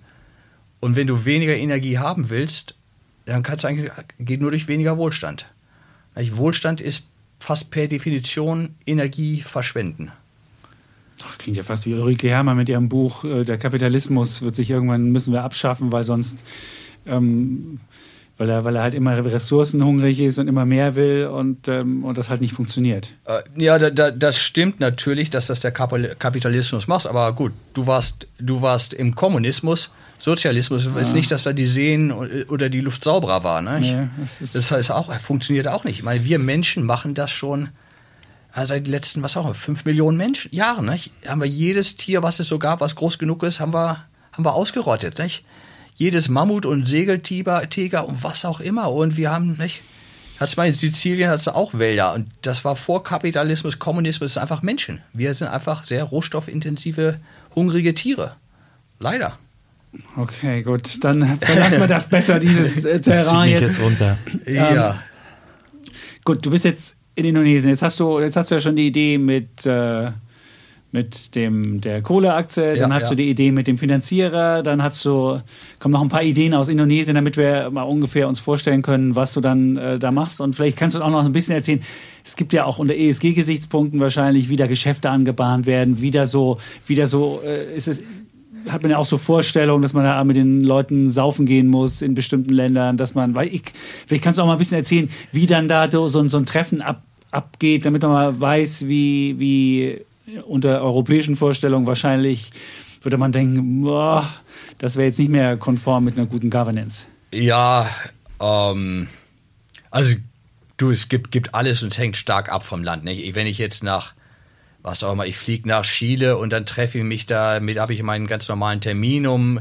und dann sagen die, okay, super, äh, hier bin wir, das sind wir, das machen wir und nach einer Stunde bist du weg und fährst mit dem Taxi zum nächsten Unternehmen in Santiago. Nicht? Das ist das Normale. Okay. Nicht? Aber ich habe es auch schon erlebt, äh, erlebt einmal, das war, habe ich eine chinesische Firma getroffen. Ich war auf meiner Hochzeitsreise, wo meine liebe Frau da mit mir mitkommen durfte. Gott, die arme Frau, ey. Ja, die, die, hat schon mal gesagt, oh Gott, jedes Land, wo wir gehen, müssen wir erstmal zur Bank gehen, weil wir, weil wir da ein neues Konto öffnen müssen. Um dann Aktien, Aktien zu kaufen. ja, klar. Und äh, da war es dann so, die haben gesagt, oh, erstens, wir zahlen für den Flug. Und da dachte ich, nee, das möchte ich schon mal gar nicht. Dann ist es schon so ein Schuldgefühl, die, das du hast. Und dann haben wir uns diese Firma angeguckt, in, das war irgendwie im Norden von China, die, die machen so biologische Düngemittel. Und dann so, okay, wir gucken uns die an. Hier sind, haben wir, wie viele Mitarbeiter? 200. Ich sage, warum, wo sind die alle? Die sind alle in der Mittagspause. Ich komme her. China, alle 200 in der Mittagspause. Ich so, okay, gut. Ja, wir bleiben ein bisschen. Ja, die kamen nie wieder. Ich so, wo sind denn alle? Ja, es ist Nebensaison. Ich so, wann ist denn Hauptsaison? Ja. oh, naja, und dann auf jeden Fall, und dann mit dem, dann von da ging es dann Firma gezeigt und die ganzen Blödsinn. Und dann vom Mercedes S-Klasse ging es dann ins schickste Restaurant in der Stadt. Ja, und dann war nur dann wurde nur eine Runde Schnaps nach der anderen da äh, ausgeteilt. Irgendwann hat meine Frau gesagt, okay, also ich, ich bin jetzt schwanger, ich, ich kann nicht mehr. Und ich habe irgendwann gesagt, okay, ich trinke jetzt nur noch, nur noch Bier, wenn ihr, wenn ihr Schnaps trinkt. Aber das ist auch so, nicht? Und dann kriegst du das und das ist diese Festgemale und alle lachen und freuen sich. Und am nächsten Tag musst du dabei sein oder nicht. Aber das ist eben. Aber es ist wie im Film, das ist da wirklich noch so. Du, in So manchen, in mein, ob das, guck mal, es kann gut sein, dass, das, dass ich jetzt da hinkomme und da passiert das nicht. Es kann aber genauso gut sein, hier sagen wir, ja, lass uns, wir treffen uns hier alle und abends gehen wir noch ins schicke Restaurant und die Karaoke-Bar und was auch immer und dann machen die das oder, oder auch nicht, nicht. Also du hast beides. Du kannst es nicht über einen Kamm schliegen. Und wie gesagt, Emerging Markets, nicht Emerging Markets, nicht. Ich habe auch einen, einen Freund, der hat bei, war bei einem amerikanischen Unternehmen, die, der hat in Frankfurt gearbeitet und die hatten in Tschechien hatten die ein Werk, wo die Auto als Autozulieferer und er meinte, das war unwahrscheinlich, was da, was, was da die Tschechen veranstaltet haben. Das war vor 15 Jahren oder so. Das war, das war noch total wilder Westen. Dass die saßen da alle ihre, auf ihrer Weihnachtsfeier und auf einmal kam eine Stripperin und hat sich auf dem Tisch ausgezogen. Nicht? Und, die, die haben, und die Amerikaner sind so gesagt, oh Gott, das ist Karriere, die geht alle ganz schnell weggegangen. Das kann das Ende meiner Karriere sein. Ja, ja. Oh. Ja, und klar. klar, der, der, der tschechische äh, Leiter, der war dann nicht mehr lange da. Ich, Okay. Das war das letzte Mal, dass er sowas gemacht hat. Das Ja. war halt eben da üblich und ja, jetzt, jetzt findest du es auch nicht mehr, selbst wenn du Mhm. es suchst. Okay. Also es sind auch unterschiedliche Gepflogenheiten. Welche Anlageregion, wenn du jetzt mal die, die, die Emerging Markets Welt mal kartografieren sollst, was wäre so die, die spannendste Region, wo du sagst, ah, viele sagen ja, Asien wäre jetzt, wenn China wieder geöffnet wird, wäre Asien spannende, Tiger wieder. Ähm, andere sagen Rohstoffe, weil du ja von Rohstoffökonomie, dann ist es Lateinamerika, aber dann ist schon wieder da viel Populismus und viel viel Regimewechsel und man weiß nie so richtig, was man da hat. Peru ja auch mittlerweile. Oder, oder findest du, keine Ahnung, Osteuropa jetzt, wo die ja mal wieder EU-freudiger werden und auch Gesetze wieder eher befolgen. Und äh, weil du ja vorhin auch von polnischen Aktien gesprochen hast, gibt diese, diese Supermarktkette Dino oder wie sie heißt, die ist ja auch ganz groß geworden. Gibt ja auch da noch Perlen. Wo würdest du sagen, was sind die spannendste Region? Also, lass, lass mal ausschließen. Gut, was, La- la- sag mal, das doof ist. Okay. Also doof ist Lateinamerika. Wirklich? Ah, Du, das Problem ist da einfach, die sind äh, die, rela mu- relativ weit nach links. Viele dieser Länder sind von Rohstoffen abhängig und viele dieser Länder, die wollen keine Rohstoffe mehr produzieren in dem Maße. Ich, und ich kann es ihnen nicht übel nehmen, nicht? Das, wir äh, kommen wir wieder auf Elektromobilität, nicht? Lithium kommt ein großer Teil aus der Region, aus den Anden, aus äh, Chile, Bolivien, äh, Peru, diesem, diesem Dreieck da, da kommt das Lithium her. Die wollen es nicht mehr haben, weil das ist halt furztrocken da. Und wo soll das Wasser herkommen? Nicht? Die Lokalen, die Community sagen, wir wollen das, das lieber trinken, als dass ihr das braucht für diesen Minen an, weil das Minengeschäft ist wahnsinnig schmutzig, wahnsinnig durstig. Und die sagen, wir wollen es nicht mehr haben, wir brauchen, wollen auch keine neuen Minen haben. Nicht? Und ich kann die Leute auch gut verstehen. Zu Recht. Aber das ist eben, Sind es die Leute oder sind es auch die Regierungen, die sagen, äh, wir wollen da raus? Ja, die Regi das? es ist mehr die lokale, es Ja, ist mehr ja, die indigenous population, die, die Indo-Bevölkerung, Genau. die sagen, hier, nee, wir wollen das Zeug nicht mehr haben. Und die haben inzwischen, Gott sei Dank, eine stärkere Stimme, Ja, dass sich da ein Minenkonzern nicht drüber hinwegsetzen kann. genau. Und das Dieses- ist natürlich auch kein gutes Investmentklima dann. Nee, das kommt noch dazu. Ja, ne? ich, ja. ich meine, Land, Länder wie Kolumbien waren mal sehr attraktiv. Inzwischen ist das alles ein bisschen risikobehafteter. Von Brasilien war auch mal sehr attraktiv.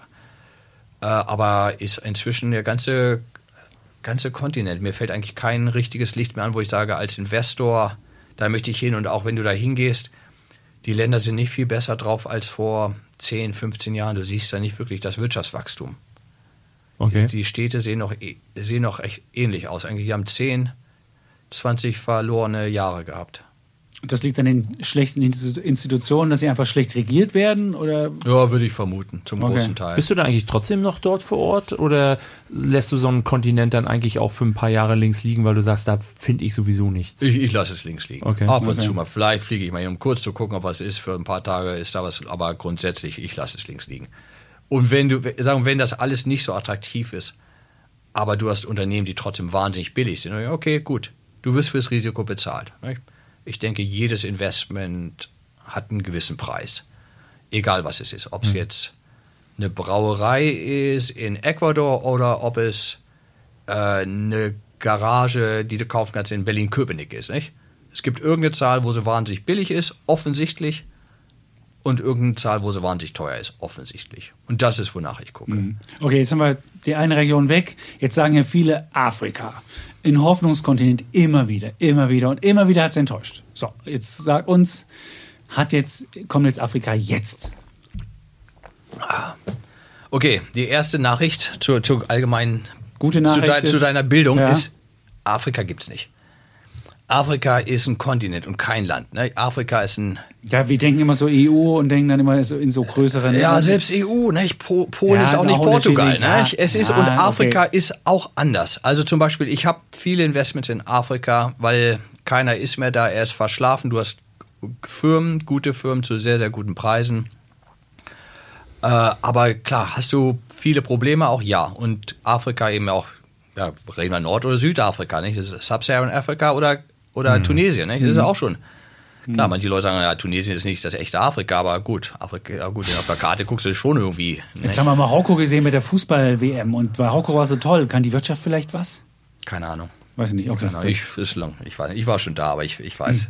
okay. Also, Äh, aber zum Beispiel, wenn ich in Afrika, ich habe äh, eine Re Region, die ich grundsätzlich gerne mag, ist äh, das französisch sprechende Afrika. Äh, aus, der, aus dem Grund, äh, die Währung ist an den Euro gekoppelt. Die haben eine Währung und die ist an den Euro gekoppelt, wird von der französischen Zentralbank gemanagt.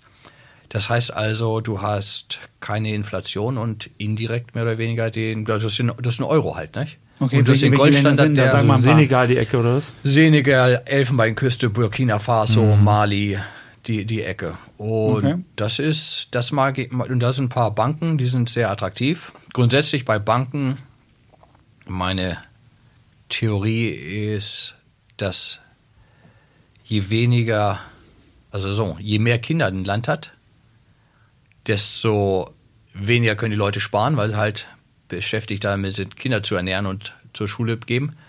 Desto, desto mehr Kapital fehlt, desto profitabler sind Banken. Weil du hast, es gibt halt wenig Kapital im Land und das ist dann Angebot und Angebot und Nachfrage. Nicht? Die Banken, die da sind, können viel für Kredite nehmen, müssen aber können, können höhere Spreads machen. Halt, Das Gegenteil ist eine deutsche Bank, äh, wenn ich eine Bank in Deutschland oder in Österreich, nicht? wo die Länder haben keine Kinder, es gibt Haufen Ersparnisse und die Banken haben, verdienen praktisch kein Geld mehr und müssen dich schon, probieren dich schon zu, äh, zu zwingen, dass du nochmal einen Kredit aufnehmen willst. Okay. Also das wäre jetzt eine Idee. Was Dann gibt's? müssen ja die Banken in äh, Nigeria so richtig reüssieren. Äh, die, die, denen geht's auch gut, ja. Ich meine, guck mal, wenn ich hier ein Symbol euch mal angucken wollt, Ja. äh, B-O-A-S BC. Bank of Africa Senegal. Ja. Und wenn du da hat ein KGV von 5 oder sowas siehst du. Und wenn du dir dann auf die Financials gehst, dann siehst du, oh, guck mal, Ach, die ist schon in Afrika illiquide an der Börse. An der heimischen Börse sieht die schon sehr illiquide aus. Wie soll die erst hier sein? ja, hier ist sie gar nicht. Kannst du nur eine da heimischen musst du in Börse kaufen. Dakar auch ein Konto eröffnen. Absolut, klar. Klar, logisch, wo sonst? Aber gut. da haben sie eben, da siehst du, in den letzten, weiß nicht, 2008 haben sie, was auch immer, oder haben sie um die 200 verdient und jetzt verdienen sie ungefähr um die 450 Mhm. oder nicht pro Kopf oder die, oder Earnings per Share, nicht, haben sie pro Jahr steigen sie 10, 20 Prozent und du kriegst dazu 8 Prozent Dividende noch. Mhm. Also das ist so ein, wie nennt ihr es hier, äh, Compounder. Compounder, genau. Das ist nennen das Compounder. Compounder. Okay. Das ist Compounder und das ist eine Aktie. Muss ich mir jeden Tag den Aktienkurs angucken? Nee, aber ich weiß einfach, ich hab, war da, habe mich mit denen getroffen. Meine mittlere Tochter geht in Osterferien nach, dahin nach Dakar, um Französisch zu lernen, Mutter in eine Familie gesteckt. Und äh, dann werde ich nochmal hinfliegen, mich mit denen nochmal unterhalten. Aber das ist so Sachen, wo ich sage, okay, da muss ich nicht viel wissen, viel verstehen. Und das ist eine der führenden Banken und hast eben Track Record von ja, 10, 20 Jahren profitabel, trotz großer Financial-Krise, was auch immer, Ölpreise steigen, fallen, Zinsen, Inflation, alles eigentlich egal. Du siehst, die Firma verdient einfach immer, Aber seit immer sieben Geld. Jahren geht die Aktie eigentlich nur nach unten. Absolut, ja. Ja, super. Aber was habe ich jetzt davon? Jetzt hast du das Wohlgefühl, die machen eigentlich alles richtig, aber die Aktie macht nichts. Und vielleicht will nicht jeder in Dakar ein Konto eröffnen, um die Bank zu kaufen, sondern dann bist du vielleicht der Einzige und dann nützt dir das gar nichts, dein Wissen. Oder glaubst du, irgendwann wachen die auf und dann läuft es? Ich glaube, irgendwann wachen sie auf. Und dann, Okay. Ja, ich denke, das ist, weißt du, je billiger die Aktie Mhm. wird, relativ zu den Gewinnen, es ist wie ein Gummiband, das immer weiter gespannt wird. Nicht? Es ist einfach die, ab einem bestimmten Punkt ist die Diskrepanz so groß und dann, dann geht es zusammen. Was ich nicht verstehe, oder erklär's uns, du bist ja sehr entspannt. Irgendwann geht die Aktie nach oben, hattest du vorhin schon gesagt. Ja, müssen wir erstmal abwarten. Und ich habe da ja, also, was ist denn eigentlich mit deinen Investoren? Ich meine, die wollen ja auch irgendwie äh, Zahlen sehen und sind die auch so entspannt und sagen, kannst du denen sagen, ja, die, die Bank of äh, Africa, Senegal, lass dir noch ein paar Jahre Zeit, die irgendwann geht die durch die Decke? Ja, ja ab- absolut. Das ist, Was sind das für Leute? Ja, die, sind- die, ja, die, die, die sind cool. Ja, die sind cooler als ich auch. Die haben mehr Geduld mit mir, als ich selber habe. Das sind welche, die haben wirklich die gleiche, gleiche Einstellung. Die denken langfristig, auch wenn ich äh, missbaue, auch wenn meine Performance schlecht ist, über ein, zwei, drei, vier, fünf Jahre. Die ziehen das Geld nicht ab, die bleiben dabei, die haben langfristig mehr Sind das Vertrauen in Kumpels mich. von dir oder ähm, nee, aber äh, ernsthaft, ne? Oh, die, müssen, die müssen geboren werden, diese Menschen. Da Du, da, ja, absolut. Ich meine, es, ich denke, es liegt vielleicht daran, du musst ein bisschen verrückt sein, um zu sagen, oh ja, Axel, der macht das alleine, der, der reist allein um die ganze Welt und der kauft die ganzen verrückten Ländern äh, Aktien, in, die, die ich finde, die noch nicht mehr auf der Karte. Du musst, und der hat zwar einen leicht an der Waffel, aber irgendwie, ich finde die Story geil. Und, ich, und das ist nicht so, und ich verkaufe auch nie, sagen, hier, du musst bei mir investieren, weil ich habe die beste Performance und ich bin so cool und sowas. Nicht?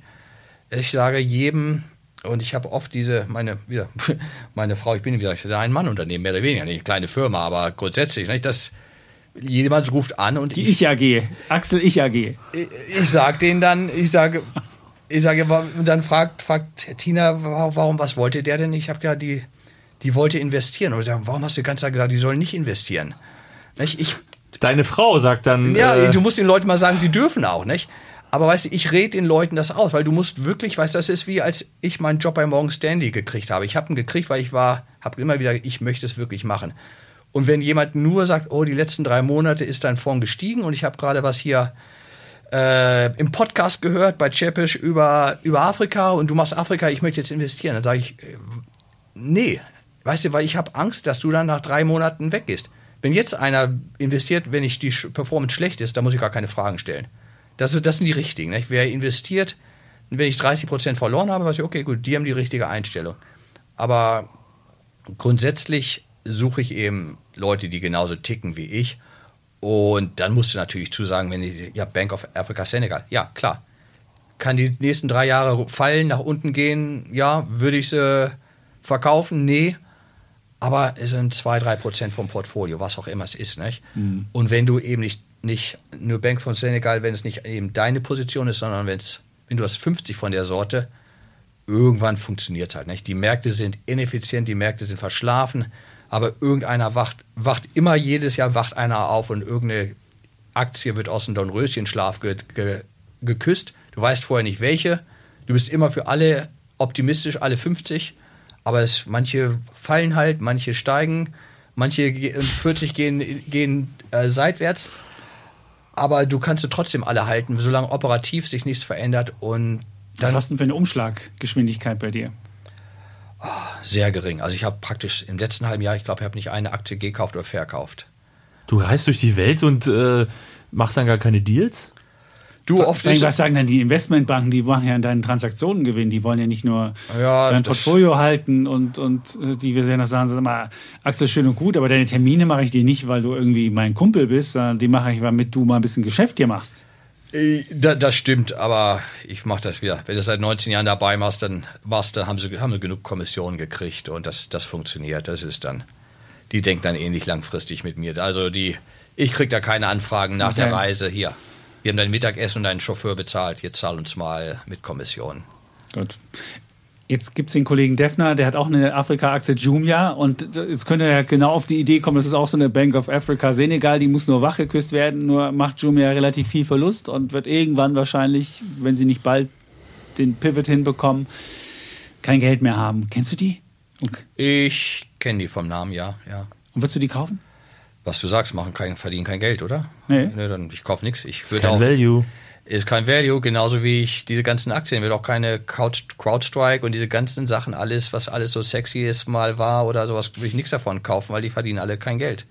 Also bei dir ist das Grundding nicht nur Value, man kann ja auch Value darin sehen, dass eine Aktie unterbewertet ist in, in, im Verhältnis zu anderen äh, KPIs. Es muss ja nicht unbedingt immer Geld verdienen sein. Man kann ja auch sagen, da sind die Kunden besonders günstig bewertet oder da ist jetzt was anderes. Aber das würdest du, du bei dir muss ein Unternehmen, da muss im Cashflow-Statement ein Plus sein. Du, ja, was, was interessiert mich? Die, klar, Netflix, wie viele Kunden die neu kriegen, was interessiert mich?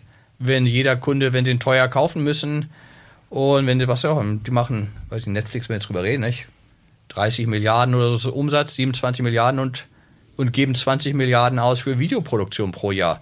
Und die sagen, ja, diese Videos hat, die haben viel Wert, aber wir wissen genau, sobald wir aufhören zu produzieren, äh, gehen die Subscriber zu Disney oder Hulu oder wie sie alle heißen. Also nee, äh, diese ganzen Stories und Subscriber ist mir egal. Ich, wie, viel, wie viel Millionen verdient das Unternehmen, Cashflow, und wie viel, das, wie, viel, wie viel muss ich dafür zahlen?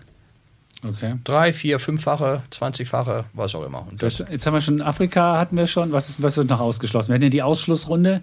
Lateinamerika haben wir schon voll ausgeschlossen. Afrika, da haben wir ein paar Länder gefunden, wo du sagst, äh, die sind am Euro indirekt mit dabei. Das ist okay. Also man lernt, Währung ist ein Problem, wenn man sieht, äh, beispielsweise Argentinien, wo jedes Jahr der, der argentinische Peso äh, 40, 50 Prozent verliert oder Türkei. Türkei, was wäre denn damit eigentlich? Oh. Letztes Jahr der beste Markt, 112 Prozent in Euro. Alter, was ist denn los? ja, was ist denn los? Ja, Ja. ja. Ah, Tolle Demografie. Gut, der Regierungschef, hm, nicht so doll, aber vielleicht haben die ja andere Sachen, andere Qualitäten. Du, Türkei ist ein super Land, hab mich oft, war oft da mit vielen tolle Unternehmen, tolles Land. Äh, ich mag sehr gerne, Demografie passt, haben riesen Chancen. Äh, geopolitisch, ich meine, die, wo die liegen, ist unschlagbar eigentlich. Ich meine, Ja. das sollten, Ja, das sollte eine. Weltmacht Kannst werden. du dir auszahlen lassen. Das machen, die- machen sie jetzt ja auch. Äh, machen sie auch, ja, ja, Ja. klar. Das lass nicht für, für Flüchtlinge und was auch Flüchtlinge, immer werden im bezahlen. Angebot, dann, ja, ja. ah, wir könnten einen Gashub werden, da könnten wir auch die Hand aufhalten. Dafür Ja. kriegen wir es verbilligt. Wir sind Sehr auch gut. geostadt politisch äh, sozusagen zwischen den großen Ja. Mächten. Und jetzt aber die Frage, ist als Aktionär was drin? Also ich habe es mich nicht getraut, äh, wegen, wegen Erdogan. Deshalb habe ich mich nicht getraut, da, da was zu Diktator. Ja. Ähm, mit Oder- Diktator könnte ich... Oder Autokrat. Ja, du Autokrat Diktator, du Autokrat, aber ich denke auch, die, die Geldpolitik ist ein bisschen unkon zu unkonventionell. Sagen wir, wir so kämpfen. kann man es auch nennen. Ja, aber Wir Geld bekämpfen- drucken ist doch super.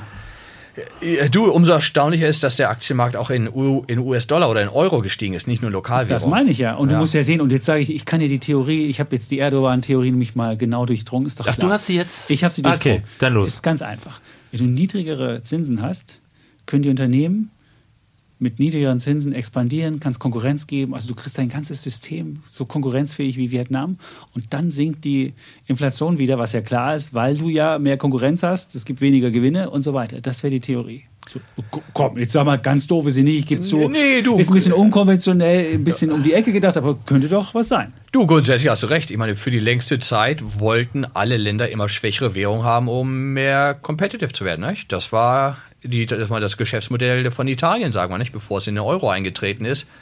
Äh, Noch haben sie kein neues gefunden, aber vielleicht. wird Nee, aber das ist das Problem nicht. Jetzt haben sie, haben sie den Goldstandard der Bundesbank und das Geschäftsmodell funktioniert nicht mehr, wenn die Lira nicht mehr jedes Jahr abwerten kannst. Ist Ja. ein Problem. Also Abwertung ist grundsätzlich und das Modell Abwertung macht, macht schon Sinn. Nur eben, wenn du Inflation im dreistelligen Bereich hast, dann macht es keinen Sinn mehr. Ich habe übrigens, fällt mir gerade ein. Oh, jetzt holt er jetzt so die Tasche. Ihr müsst ja, ihr sind ja hier im Podcast, ja. Ja, ich habe hier ein, Ja, als Globetrotter ist es natürlich ein ja, Rucksack. ich habe ich hab euch ein, wo ist das, ein Souvenir ein mitgebracht. Souvenir. Oh, jetzt müssen wir gleich mal gucken, nicht, dass es ein Compliance-Fall wird. Jo, ist bestimmt Compliance. Souvenir aus Zimbabwe. Das ist zum Thema Inflation. ein. Der 10 Billion Dollar Schein. Die mussten ja irgendwann, ist die Inflation ja deswegen kaputt gegangen, weil sie das, die, das, Papier, das Papier für die Preise nicht mehr, äh, nicht mehr äh, zahlen konnten. Ich glaube, Ja. deswegen ist die Inflation irgendwann eingegangen, weil die Papierpreise zu teuer waren. Da konnten sie kein Geld mehr Sieht drucken. eigentlich seriös aus. Bis doch- auf die vielen Nullen. Ich will jetzt noch ein bisschen Türkei haben. Sag doch was zu Türkei. Ist das nicht was? Du, wa- wahrscheinlich, aber ich habe ich hab da nichts, was ich nicht, ich weiß nichts, was du nicht auch weißt. Ich weiß, es gibt viele gute Unternehmen, ich Ja. mag's gerne. Es war auch mal, ich war da, da war es noch wesentlich fortschrittlicher. In keinem Land waren so viele Frauen, die die Firmen äh, repräsentiert haben wie in der Türkei. Aber ich weiß nicht, das ist schon ein paar Jahre her, ob das noch so Okay. ist. Und ich hab, Gut. nee, ich hab nicht, kann, nix, kann dir Okay. leider nichts. keine Okay, Insights Türkei geben. haben wir jetzt, sind wir jetzt rumgegangen, was, was wir noch ausschließen? Also Türkei ist, Du, Osteuropa. Ich würde Osteuropa grundsätzlich ausschließen. Warum? Ah, schlechte Demografie. Ich meine, ja gut, Polen ist, ja. Ich meine, alle sind fast genauso schlimm wie Deutschland. Und die sind alle am Aussterben, so wie wir hier auch. Und, das, und dann hast du eben wenig dynamische Unternehmen. Und das größte Problem, denke ich, was an den Börsen notiert ist, sind die unter die nicht die, die Goldstücke, sondern als die, als die Mauer fiel, die, die wirklich profitablen Unternehmen, die Zigaretten oder die Firmen, die Brauereien, die wurden alle von westlichen Firmen einkassiert. Und an die Börse kam dann irgendwie die zweite und dritte Liga, die keiner wirklich haben wollte. Und das ist zum großen Teil immer noch. Ich, ich Aber gucke. Dino, das ist doch dieser tolle Ja, Discounter. Komm, sag mal. Da, ja, sicher, du, äh, sicherlich. Klar, Polen, Polen ist eine Ausnahme noch. Ja. Ich denke mehr an Tschechien, Rumänien, Bulgarien. Die haben ja gar keine Werte. Da hast du zehn Werte, und die Genau, Hälfte davon sind ja. irgendwelche Versorger. Das ist ja Mist. Aber Ja, Polen, wahrscheinlich, weil nicht mehr viel übrig geblieben ist, ne? weil die großen. Spieleaktien, läuft das nicht? Äh, ke- keine Ahnung, ist nicht Okay, meine ist Expertise. dein- okay. Ist, ist nicht mein Ding. Ich habe sie mir angeguckt, die waren sehr teuer und ich habe mir nicht weiter angeguckt. Ich verstehe es auch nicht. Ich verstehe die Okay. Branche nicht. Und Gut, dann sind wir also, also Osteuropa haben wir auch ausgeschlossen.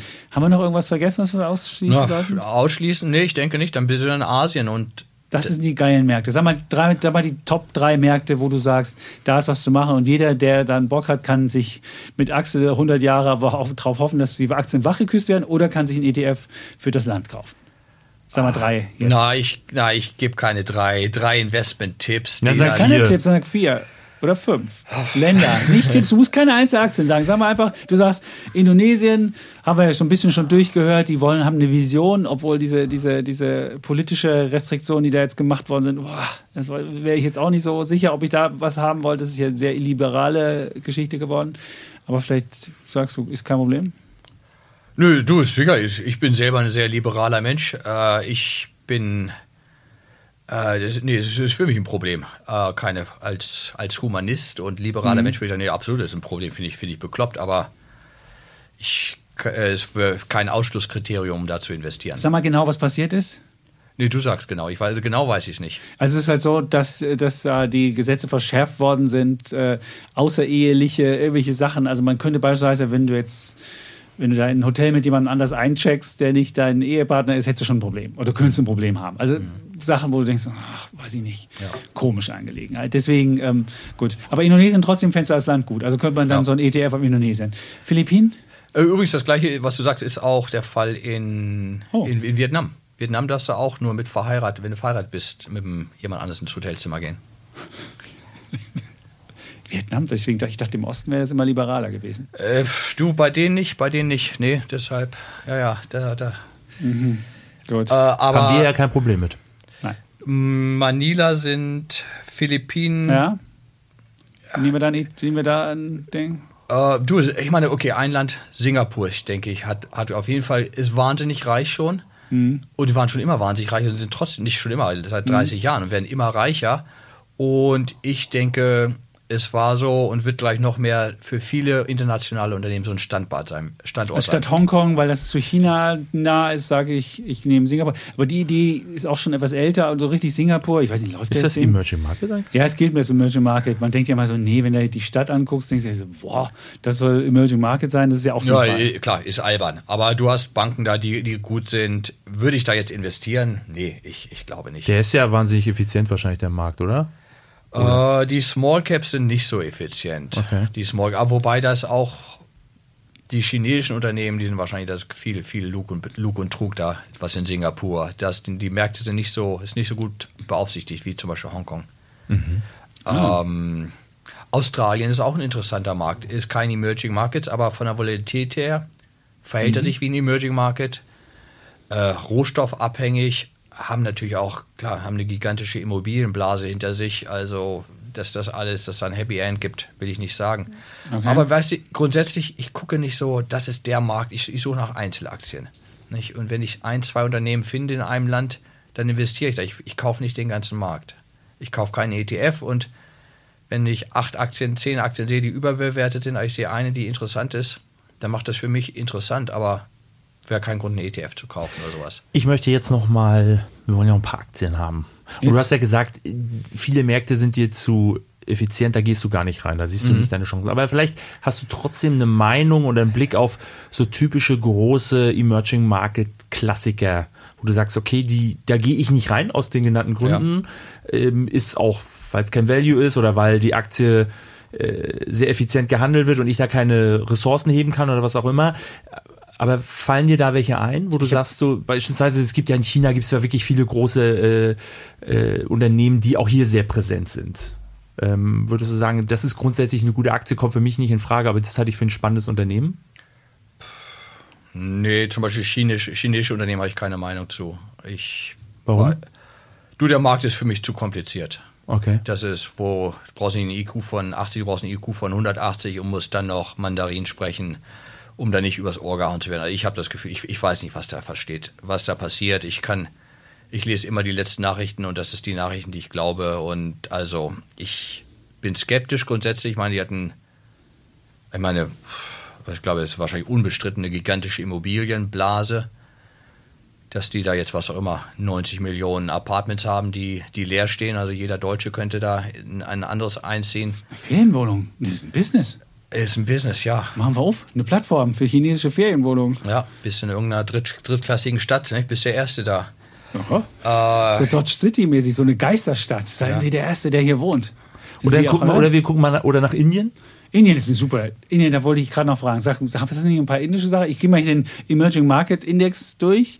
Da wäre die größte indische Bank, äh, größte indische Unternehmen wäre Reliance Industries. Ja. Äh, ich ich habe keine Meinung zu Indien. Ist ein, Oh nee. du, ist, ist ein toller Markt, ich, ist ein tolles Land. Die Aktien sind immer teuer. Stimmt. Und das ist ein Land, was ich nicht verstehe. Äh, Es Okay. gibt wir- 1,4 Milliarden Menschen, wie wir wissen. Es- Die Inder sind auch clever, es gibt viel Kapital, es ist sehr effizient und ich habe da absolut Alles Kriterien, die für Axel das Aber, Land aber die, die, die, effizient, also ja die. Börse läuft viel besser als beispielsweise ähm, Vietnam. ist, ist, mir, ist mir bekannt, ist mir bekannt, aber trotzdem, ich kaufe nicht Aktien diesen, Okay. zu, zu diesen Preisen und ich habe einfach da keine Ahnung. Es gibt viel Insiderhandel und wenn einer als der Letzte davon erfährt, dann, dann bin ich's. Also ich Und das möchtest du ja nicht, ne? Nö, da, ich wir- weiß, wer über, ja. über den Tisch gezogen wird und das ist nicht der Inder. Nicht? Er, es ist Ah. der Fondsmanager in München. Also, Okay. nee, das. Auch nicht. Was fällt uns da noch ein? Bangladesch? Ja, Bangladesch ist ein spannendes, spannendes Land. Ich war da vor einigen Jahren, da war gerade, waren gerade Wahlen, da waren zwei, die eine Frau hat gewonnen, die andere Frau wollte nicht abtreten. Ah, immer schlecht, so Übergang. Ja, das war, war Übergang. ja, und ich hatte Business Meetings und dann das, aber die Fronten waren sehr verhärtet, also dass das wirklich Fronten waren, das waren überall Demonstrationen und so Roadblocks. Okay. Und die einzige Art, wie du von Meeting zu Meeting kamst, die einzigen, durch die, die durchgelassen wurden, waren Krankenwagen. Also dann bin ich im Krankenwagen von Meeting zu Meeting gefahren, um durch die Straßensperren zu kommen. Äh, aber ansonsten große Bevölkerung, haben wachsen auch, haben gut, haben das kleine Problem, dass sie viel wurden ermutigt, von Erdöl auf Erdgas umzusteigen.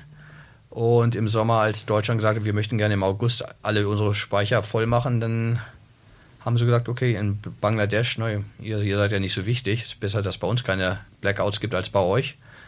Und dann wurde der Strom da mal abgestellt öfter. Aber grundsätzlich haben die viel, auch Textilindustrie, äh, viel, äh, viel Möglichkeiten. Denn das Problem ist ja, besonders für solche Sachen wie Textil, was arbeitsintensiv ist, wo gehst du hin? China ist voll, da gibt's, da gibt, ich meine, da fallen, da fallen jedes Jahr jetzt Arbeitskräfte weg, weil die eben veraltert. Vietnam ist voll. Du kannst da nicht mehr einfach so hingehen und sagen, ich stelle jetzt hier 5000 Leute ein. Äh, Pakistan ist problematisch und Bangladesch ist eben, wo es relativ gut funktioniert. Du hast relativ gute Infrastruktur und du hast viele Menschen und du hast ein niedriges Lohnniveau, äh, dass das auf jeden Fall ein Ausweichland ist. Und da gibt es nicht mehr viele von. Besonders diese Low-End-Sachen, wo du einfach Leute. Ja, Spielzeug. Die T-Shirts. Die T-Shirts. Suche nicht? nach der neuen Werkbank. HM. Das ist das Zeug. Das ist doch viel zu hochpreisig, bitte Nein. ich. Ja, das kommt aber trotzdem das her. Nicht? Leute, die für 150 Dollar im, im Monat arbeiten wollen. Und das hast du noch in Afrika. Aber ansonsten gibt es nicht mehr viele Länder. Und ist das jetzt ein Land, wo man auch als Aktionär was verdienen kann? Kann ich dir nicht sagen. Ich habe immer diese schrecklichen Bilder von diesen T-Shirt-Fabriken, die zusammenstürzen, wo es immer Unfälle gibt oder Brände oder sonst was. Das ist, äh, also ich habe mich da auch mit Textil- und Fabriken unterhalten. Es ist, es ist schwierig, es ist auch grundsätzlich das Textilgeschäft als Investor ist grundsätzlich schwierig, nicht nur weil die Fabriken einstürzen, da äh, es ist auch ein wahnsinnig niedrigmargiges Geschäft. Nicht? Und deshalb bestürzen die Fabriken auch ein. Nicht? Denn wenn die eine Firma sagt, ich will verdienen, sagt hier zu Adidas, wir verdienen 10 Cent pro T-Shirt, die anderen sagen, wir verdienen 9 Cent pro T-Shirt, äh, überlegt ihr, wer einen Auftrag kriegt. Nicht? Und mhm. das halt, es ist ein wahnsinnig, ist ein schwieriges Geschäft, da langfristig Geld zu verdienen. Ich war mal wieder, als ich da war, habe ich mich mit einer Firma unterhalten, die haben, was ich grundsätzlich mag, sind Branchen, äh, also diese fast-moving Consumer Goods. Ne? Ich so die Cola, die Seife und diese ganzen Sachen, was die Leute jeden Tag wieder brauchen, wo du auf die Hygieneartikel. Hygieneartikel, alles klar. Und ja. du hast eben die junge Bevölkerung, die eben das erste Mal alles irgendwann braucht. Mhm. Nicht? Als das, und das ist eben das Attraktive bei diesen Emerging Markets, der jungen Bevölkerung. Nicht Emerging Markets alte Bevölkerung, sondern junge Bevölkerung. Dass du eben die Windeln brauchst und was auch immer. Und dann alles kommt. Nicht? Die Seife, das Shampoo und die die Tampons und die das alles halt immer haben. Nicht? Das ist Wachstumsmärkten, das ist attraktiv. Und auf jeden Fall habe ich mich da mit einer Firma unterhalten, die haben Eis, Speiseeis gemacht. Und so, das ist ja interessant. Nicht? Draußen ist jeden Tag äh, brüllend, brüllend heiß, es ist schwül nicht? und du hast eine junge Bevölkerung, die möchten dann Eis essen. Und ja. dann war es so, okay, ja, und die hatten das, die hatten die marktführende Position. Ich dachte, oh, das kann ich mir vorstellen, dass das Sinn macht. Und die Aktien hatten auch keine große Marktbewertung. Also, okay, gut. Wie verkauft er das jetzt? Das ist eine gute Frage. Kühlkette. Äh, Kühlkette, ganz genau. Da fing es an. Okay, ja, wir müssen das ja von hier zu dem 7-Eleven, wo auch immer mhm, hinbringen. Ja. Wie kommt das hin? Ja, wir müssen die Trucks kaufen. Okay, das ist ja schon ein bisschen teuer. Aha. Da reden wir nicht mehr über Eis. Und dann ist okay, und wenn es dann da ist, was ist, dann läuft ja. Stromausfall kommt manchmal. Ja, erstmal, da müssen wir noch den Kühltruhen kaufen. Ich so, oh, das, das, ist aber teuer. Und so, sonst was? Nö, sonst nichts. Außer natürlich äh, das, den Dieselgenerator für die Kühltruhe, damit der nicht ausfällt. Ich sage, okay, gut. Next. Danke. Next, ja. Okay. Aber das sind eben solche Sachen, weißt du, kannst du äh. auf der Bilanz hört sich das gut an oder äh, auf der Website, okay, wir, wollen jetzt Speiseeis machen. Guckst dir das Klima an, denkst du, hey, das sieht gut ja. aus. Also, sieht also jetzt gibt es weiter kein Speiseeis in äh, Doch, Bangladesch. Aber, aber, aber, ohne, aber ohne Achse. aber ohne Achse, ohne Achse, Und Achse das ist so Sachen, da musst du einfach vor Ort hinfahren und gucken und sehen und dich unterhalten und das ist okay. eben nicht einfach ein bisschen street smarter. Wie viel Geld würdest du da jetzt? Also die ICD hat nicht funktioniert, aber angenommen, das hätte dich irgendwie überzeugt. Was, was, was investiert man denn da? Sagst du, äh, also klar, was deine Investoren das an Geld ergeben? Axel-Ticket. Irgendwie die 20.000 nach wie vor, äh, eher nicht, äh, die du, mit denen du gestartet bist oder ein paar Millionen dann gleich oder wahrscheinlich ist es auch unterschiedlich, aber Du, ich, ich denke, du musst grundsätzlich in, immer in Prozent denken. Ne? Ja. Was ist, was, wie groß ist dein, deine Ersparnisse und dann sagst du, okay, wie viel ist ein Fixed Income, wie oder in, was ich, in Sparersparnissen, wie viel ist in Aktien. Und wenn du deinen Aktienteil anguckst, wie viel ist, willst du davon in Bangladesch haben? Sind es 5%, sind es 10%? Wahrscheinlich sind es nicht 30%. Und was die richtige Zahl ist, das weiß keiner, nicht? Sonst würden es Computer machen. Es ist mehr. Aber wie viel hast du im Fonds? Wie viel hast du verwaltet? Oder, ja, sind ungefähr zwischen den zwei Fonds ungefähr 90 Millionen. Okay. 90 Millionen. Und wenn du in eine Position, wie, viel, wie viele Dinge hast du drin? Ähm, ungefähr 40, 50. Also es variiert das zwischen. Das ist schon eine richtige Größe, eine richtige große. Kann man schon ein bisschen Eis mit produzieren. Kannst du ein bisschen was. Eis, mit Aktien kaufen. Er will nicht selbst ins, ja. ins Geschäft einsteigen. Okay. Aber du willst auch klein sein in der Branche. Ich meine, das ist, wenn du Aktien kaufst, der Riesenvorteil von Privatinvestoren gegenüber institutionellen ist, die haben wenig Geld. Und mhm. damit kannst du Aktien kaufen, die viele institutionelle Investoren nicht, nicht kaufen, können. Mhm. Und ob es jetzt in Bangladesch ist oder ob es im S-DAX ist, nicht? das ist grundsätzlich, wie gesagt, da sind wir wieder bei Market-Effizient. Nicht? Daimler kann jeder sich angucken und kann sich da eine Geschichte zusammen äh, denken, ob die jetzt teuer, billig sind, ob die Chancen haben oder nicht, oder Tesla. Aber wenn du eben wohin gehst, wo jeden Tag nur 1000 Euro an Aktien gekauft werden, nicht? Das kann, das macht kein Institutioneller. Klar, weil er keine Transaktions, äh, keine viel, nicht viel Transaktionen stattfinden, da lohnt sich nicht ein Research dafür Nee. zu machen, außer der macht mit mir einen Deal nach dem anderen, also macht, gibt irgendwie Anleihen aus oder will noch Aktien invest äh, machen, dann, dann kann das sinnvoll sein, aber sonst natürlich nicht. Deswegen ist ja auch Aktien-Research für kleine Unternehmen ausgestorben quasi. Oh, Genau, und die Unternehmen, die das machen wollen, da willst du nicht investieren. Die mehr Aktien verkaufen wollen, die Schulden aufmachen wollen, nicht? da willst du nicht sein. Ja, du willst die machen, wo, der, wo die so viel Geld haben, dass die dich nicht brauchen. Dass sie ihre Investmentbanker nicht, nicht kennen. Da willst du sein. Da gibt es ja noch alles auf Aktien. So die gucken sich auch die Kleinen an. Aber das sind keine Empfehlungen. Also ich Ideen. würde nur noch eine, die crazyste Aktie würde ich gerne noch wissen, die du hast. Wirklich ganz und wenn es dann die crazyste Aktie und vielleicht noch dazu, die, wie du die gefunden hast. Crazy, was ist. äh, Ich bin. Du, ich, ich, ich mache ja nur langweilig, ich mache ja nicht crazy. Ja, aber von Für wem? deine Verhältnisse ja, verrückt. Danke. äh, ich, ich muss mal gucken in meinem Portfolio. Ihr redet mal weiter, ich gucke mal ganz kurz. Was ist denn deine crazyste Aktie heute gerade? Da gibt es so viele, ne? Ja, das ist, ich habe ich hab so wie so ein Briefmarkenalbum. Das ist, äh, das ist zu, zu, zu granular. Aber ich habe nicht so große Positionen wie Axel. Ich habe auch nicht 90 Millionen. Also insofern, Wer kriegt denn jetzt eigentlich den Schein von uns beiden? Das, das ist, der geht ins Eigentum von AAA über. Stimmt. Das ist, das ist hier, Der das kommt ist, ins AAA-Archiv. Genau, damit wir allen sagen können, ähm, Wie viele Nullen? Zähl nochmal bitte. das sind 10 Billion Dollars. 4, 0, 1, 2, 3, 4, 5, 6. Also wir machen gleich ein Bild noch mit Axel und dem 10 Billion Dollars Schein, damit ihr es auch seht, worüber wir reden, während Axel immer noch guckt, was die crazy Du, ich, ist. ich habe ich hab nicht crazy, wirklich nicht. Ich habe ich hab Brauerei. Aufregend, dann sag aufregende Aktie. Du, ich habe viele, in Nigeria habe ich Aktien, habe ich so, habe ich viele von den westlichen Unternehmen, die haben lokale Töchter da, so wie Guinness zum Beispiel. Guinness Mhm. Nigeria habe ich oder ähm, Gibt es auch Unilever India, ist ja auch so ein Ding. Wär Gibt's das was? auch, klar. Aber wäre das was? äh, viel zu teuer, unbezahlbar für mich. ja ich, gesagt, bin, ja- ich bin ja geizig, aber ich habe, äh, ich habe, glaube ich, in Ghana habe ich Unilever. Ich habe Unilever Nigeria. Und Das ist ja lustig. Und die läuft dann wirklich ganz unabhängig von dieser großen Unilever, die ja äh, zwar als Dividendenwert und als irgendwie Compounder gilt, aber richtig compounden kannst du da nicht, weil die gar nichts macht, diese Aktie.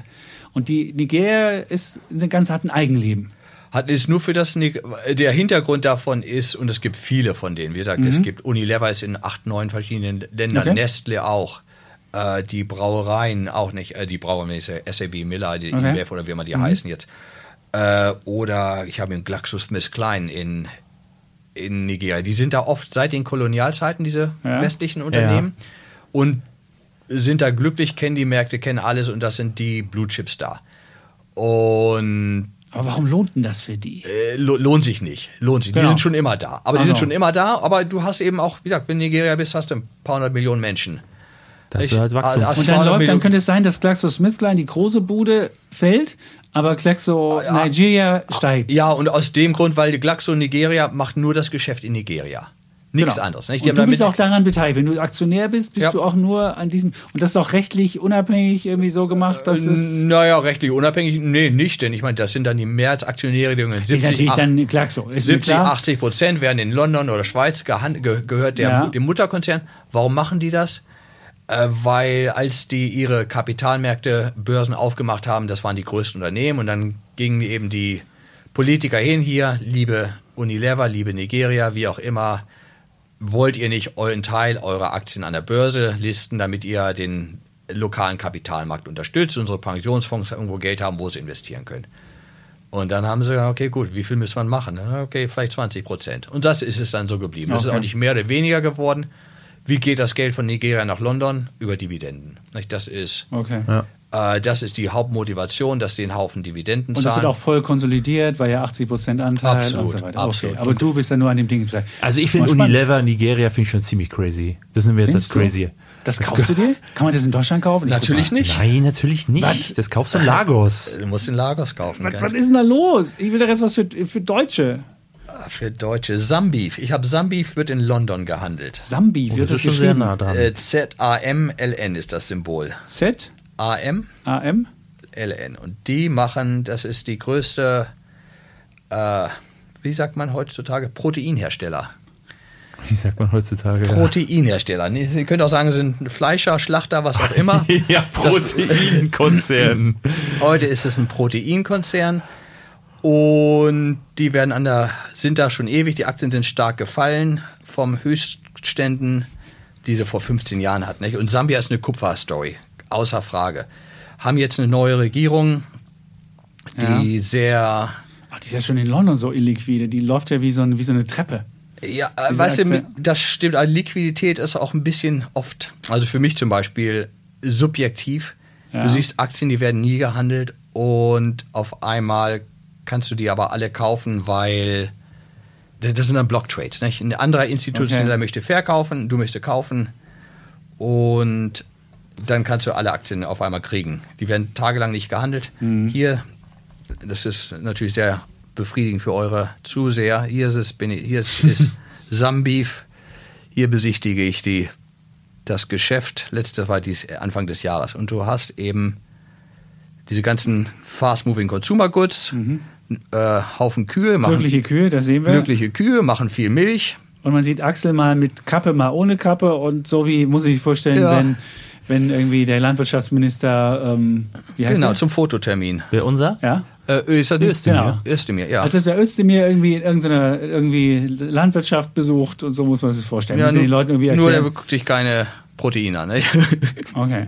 Das sind die Hühner, die nicht. Also das geht ja nach China noch, der Kram, oder? Das waren die Hühnerbeine und die Hühnerfüße, das Ja, sind hier, China. hier, hier fliegen die Hühner durch die, durch die Gegend noch. Ah. An der, unter der Decke. Ja, also man kann sagen, Axel ist an der Basis. Du, das ist in der Basis. Ich meine, wenn das siehst, ist das. Und so eine also Fleischfabrik. Axel guckt glücklich. Also muss ich sagen. ja, das bin ich. Das ich. ist er doch gar ja, nicht. Ja. Je, je, jetzt wird's aber sehr proteinreich. Du, aber du, aber weißt du was? Ich habe solche Ja. Kinder auch, mein, mein, solche Bilder- Bilder auch meinen Kindern gezeigt. Du musst, Ja. ich finde das hier, wir machen und wie gesagt, meine meiner Töchter ist Vegetarierin, ich esse selber wenig Fleisch. Ja, Weißt du, das Fleisch wird ja hier so verkauft, als wenn es irgendwie, es kommt so einfach verpackt. Du siehst gar keinen, dass da ein Tier dahinter ist, was gestorben ist. ist. Einfach ne? fein, ist fein paketiert, schön zusammen. Kein Blut, ja, aber das ist ja kein schon, das ist ja schon in Spanien anders oder in Frankreich, wenn wir im Urlaub sind, da sieht man ja auch schon noch die Herkunft Ja, des ja. Fleisches. Das hat man in Deutschland irgendwie, das ist aus ästhetischen oder Pietätsgründen hat man die irgendwie, irgendwie anders verpackt. Tja, hier so, ne? so sieht es Okay. so sieht's aus in Jetzt Sambia. nimmt ne? äh, Und Axel dann, uns hier noch auf eine optische Weltreise Ja, mit. ja. das ist super. Übrigens ist das jetzt, und wir, ehrlich gesagt, wir müssen jetzt auch mal zum Schluss Ja, kommen. aber was? Ähm, na, wir sagen doch immer, wir haben die Welt umrundet, aber diesmal haben wir sie so richtig umrundet. Wir haben sie wirklich umrundet, das stimmt. Mit Axel. Also, äh, ich meine, Axel hat jetzt praktisch jedes Land dieser Welt ausgeschlossen für ein Investment, äh, zumindest Für für, ein ETF-Investment. Ja, für ein ETF, das stimmt. Als Land gesehen. Trotzdem, jetzt sagen wir nochmal allen Menschen, wenn ihr jetzt das machen ja- man kann auch den MSCI Emerging Markets kaufen. Hat man halt 31 Prozent ähm, China, China. das muss man wissen. Man hat äh, 13 Prozent Taiwan noch und hat, glaube ich, 14 Prozent Indien. und, und Hongkong noch, ne? Hongkong hat man aber nicht so viel. Nee. Das, das wird meistens über China mitgezählt. Also Hongkong hat man nur 1,2 Prozent, wenn ich mir Okay. die Übersicht angucke. Und das muss man halt wissen. Und äh, was ist mit Frontier Markets? So ein, so ein ETF gibt es ja auch, aber Du, ist bescheuert, macht nichts Sinn. Die Gewichtung ist bescheuert. Weißt du, Market Cap gewichtet, Frontier Market, das war mal 70% Vietnam oder das war dann so, Mhm. Saudi-Arabien war dann 70%. Du kriegst nicht irgendwelche Nebenwerte, du kannst da nicht in solche Aktien, kannst du nicht kaufen über einen ETF. okay, das sollte Du man kannst, du kannst gar keinen ETF Fonds bauen. machen. Ja, es ist unmöglich. Und wahrscheinlich solltest du vielleicht, musst du sagen, okay, dann ist halt Afrika nichts für mich. Und das ist Mhm. auch okay. Aber du kannst da nicht machen, ma, täglich kaufen, verkaufen. Du musst wirklich daran denken, als du kaufst keine Lottoscheine, du kaufst einfach Unternehmensanteile und die kaufst du zum guten Preis und kaufst Cashflow, kaufst Dividenden und du kaufst äh, positive demografische Entwicklung. Ab und zu mal kriegst du eins auf die Klappe, da funktioniert's nicht, aber dann langfristig wird das Geld mehr wert. Und du musst das wirklich ganz dieses tägliche total vergessen. Von mir können sie die Börsen die nächsten drei Jahre zumachen und ich, wär, ich würde eigentlich nur am Strand sitzen, Margaritas trinken. Ne?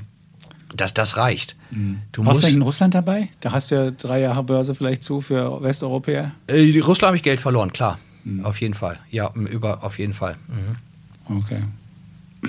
Ja, das wird die Welt wirklich umrundet. Also wir lernen bei Emerging Markets oder zumindest bei Frontier Markets kann es sinnvoll sein oder sollte man mit aktiven Fonds das machen. Ja, oder, ja, vielleicht gibt es du, China kann auch steigen. Ne? Wenn du China haben möchtest und China verdoppelt sich, will ich nicht ausschließen. Ich habe keine Ahnung. Mhm. Ist halt nicht mein Ding. Okay. Sehr spannende Weltreise. Ja. Und vor allem mal von, mit, mit Bildern von vor Ort. Ich habe jetzt auch schon eine neue Idee noch äh, Hast du? Wie, wie für du den nennst? Titel. Ja, Nee, nämlich? Nee, das verrate ich jetzt noch nicht. Das Okay. wird dann auf, äh, müssen wir jetzt noch diskutieren. Okay. Aber ich finde, äh, Aber Indiana Jones könnte eine Rolle spielen, Axel.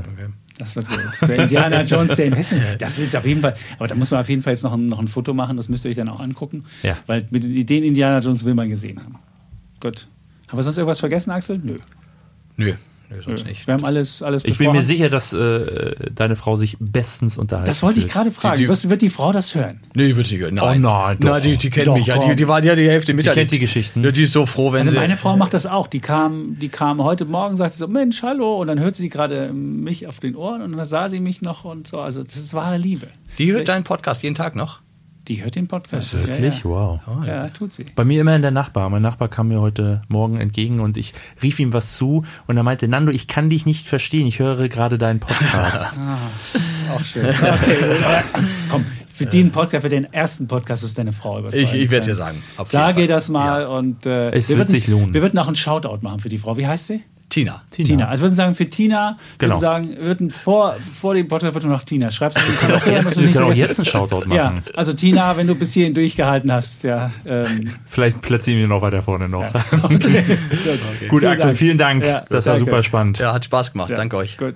Ciao. Tschüss. Tschüss. Also, man sagt ja wirklich immer, ist eigentlich schon fast ein bisschen abgegriffen, Reisen bildet, aber diese Reise war auf jeden Fall, äh, hat sehr, sehr gebildet. Man muss sagen, dieses Vietnam-Beispiel, wir sind ja beide so ein bisschen Alltagsökonomen, nicht wahr, lieber Holger? Und das ist, ne, genau das ist ja das, was Axel da vor Ort dann eben auch macht. Er beobachtet ja teilweise über Jahre, wie er erzählt hat, den, den, den Alltag, natürlich auch den ökonomischen Alltag. Und dieses Vietnam-Beispiel zeigt das natürlich par excellence, wie man so schön sagt. Wenn du vor Ort bist, beobachtest du eigentlich mal, beziehungsweise beobachtest du die Dinge und dann beantworten sich eben auch die Frage. Und wenn der Chepitz dann eben fragt, ja, äh, Vietnam, Wohlstand, äh, wo siehst denn da der Wohlstand? Also, in meinen Aktienkursen sehe ich überhaupt nichts. Ja, dann hat er halt die Antwort, ne? Weil äh, Wohlstand vor Ort spiegelt sich nicht oder sogar logischerweise nicht, wie er es erklärt hat, nicht unbedingt äh, in den Aktienkursen beziehungsweise ja in, den, in der Marktkapitalisierung. Und jeder China-Aktionär kannte das bisher, bisher ja auch schon. Da gibt's ja das Land, das wächst ja eigentlich schon seit Jahren.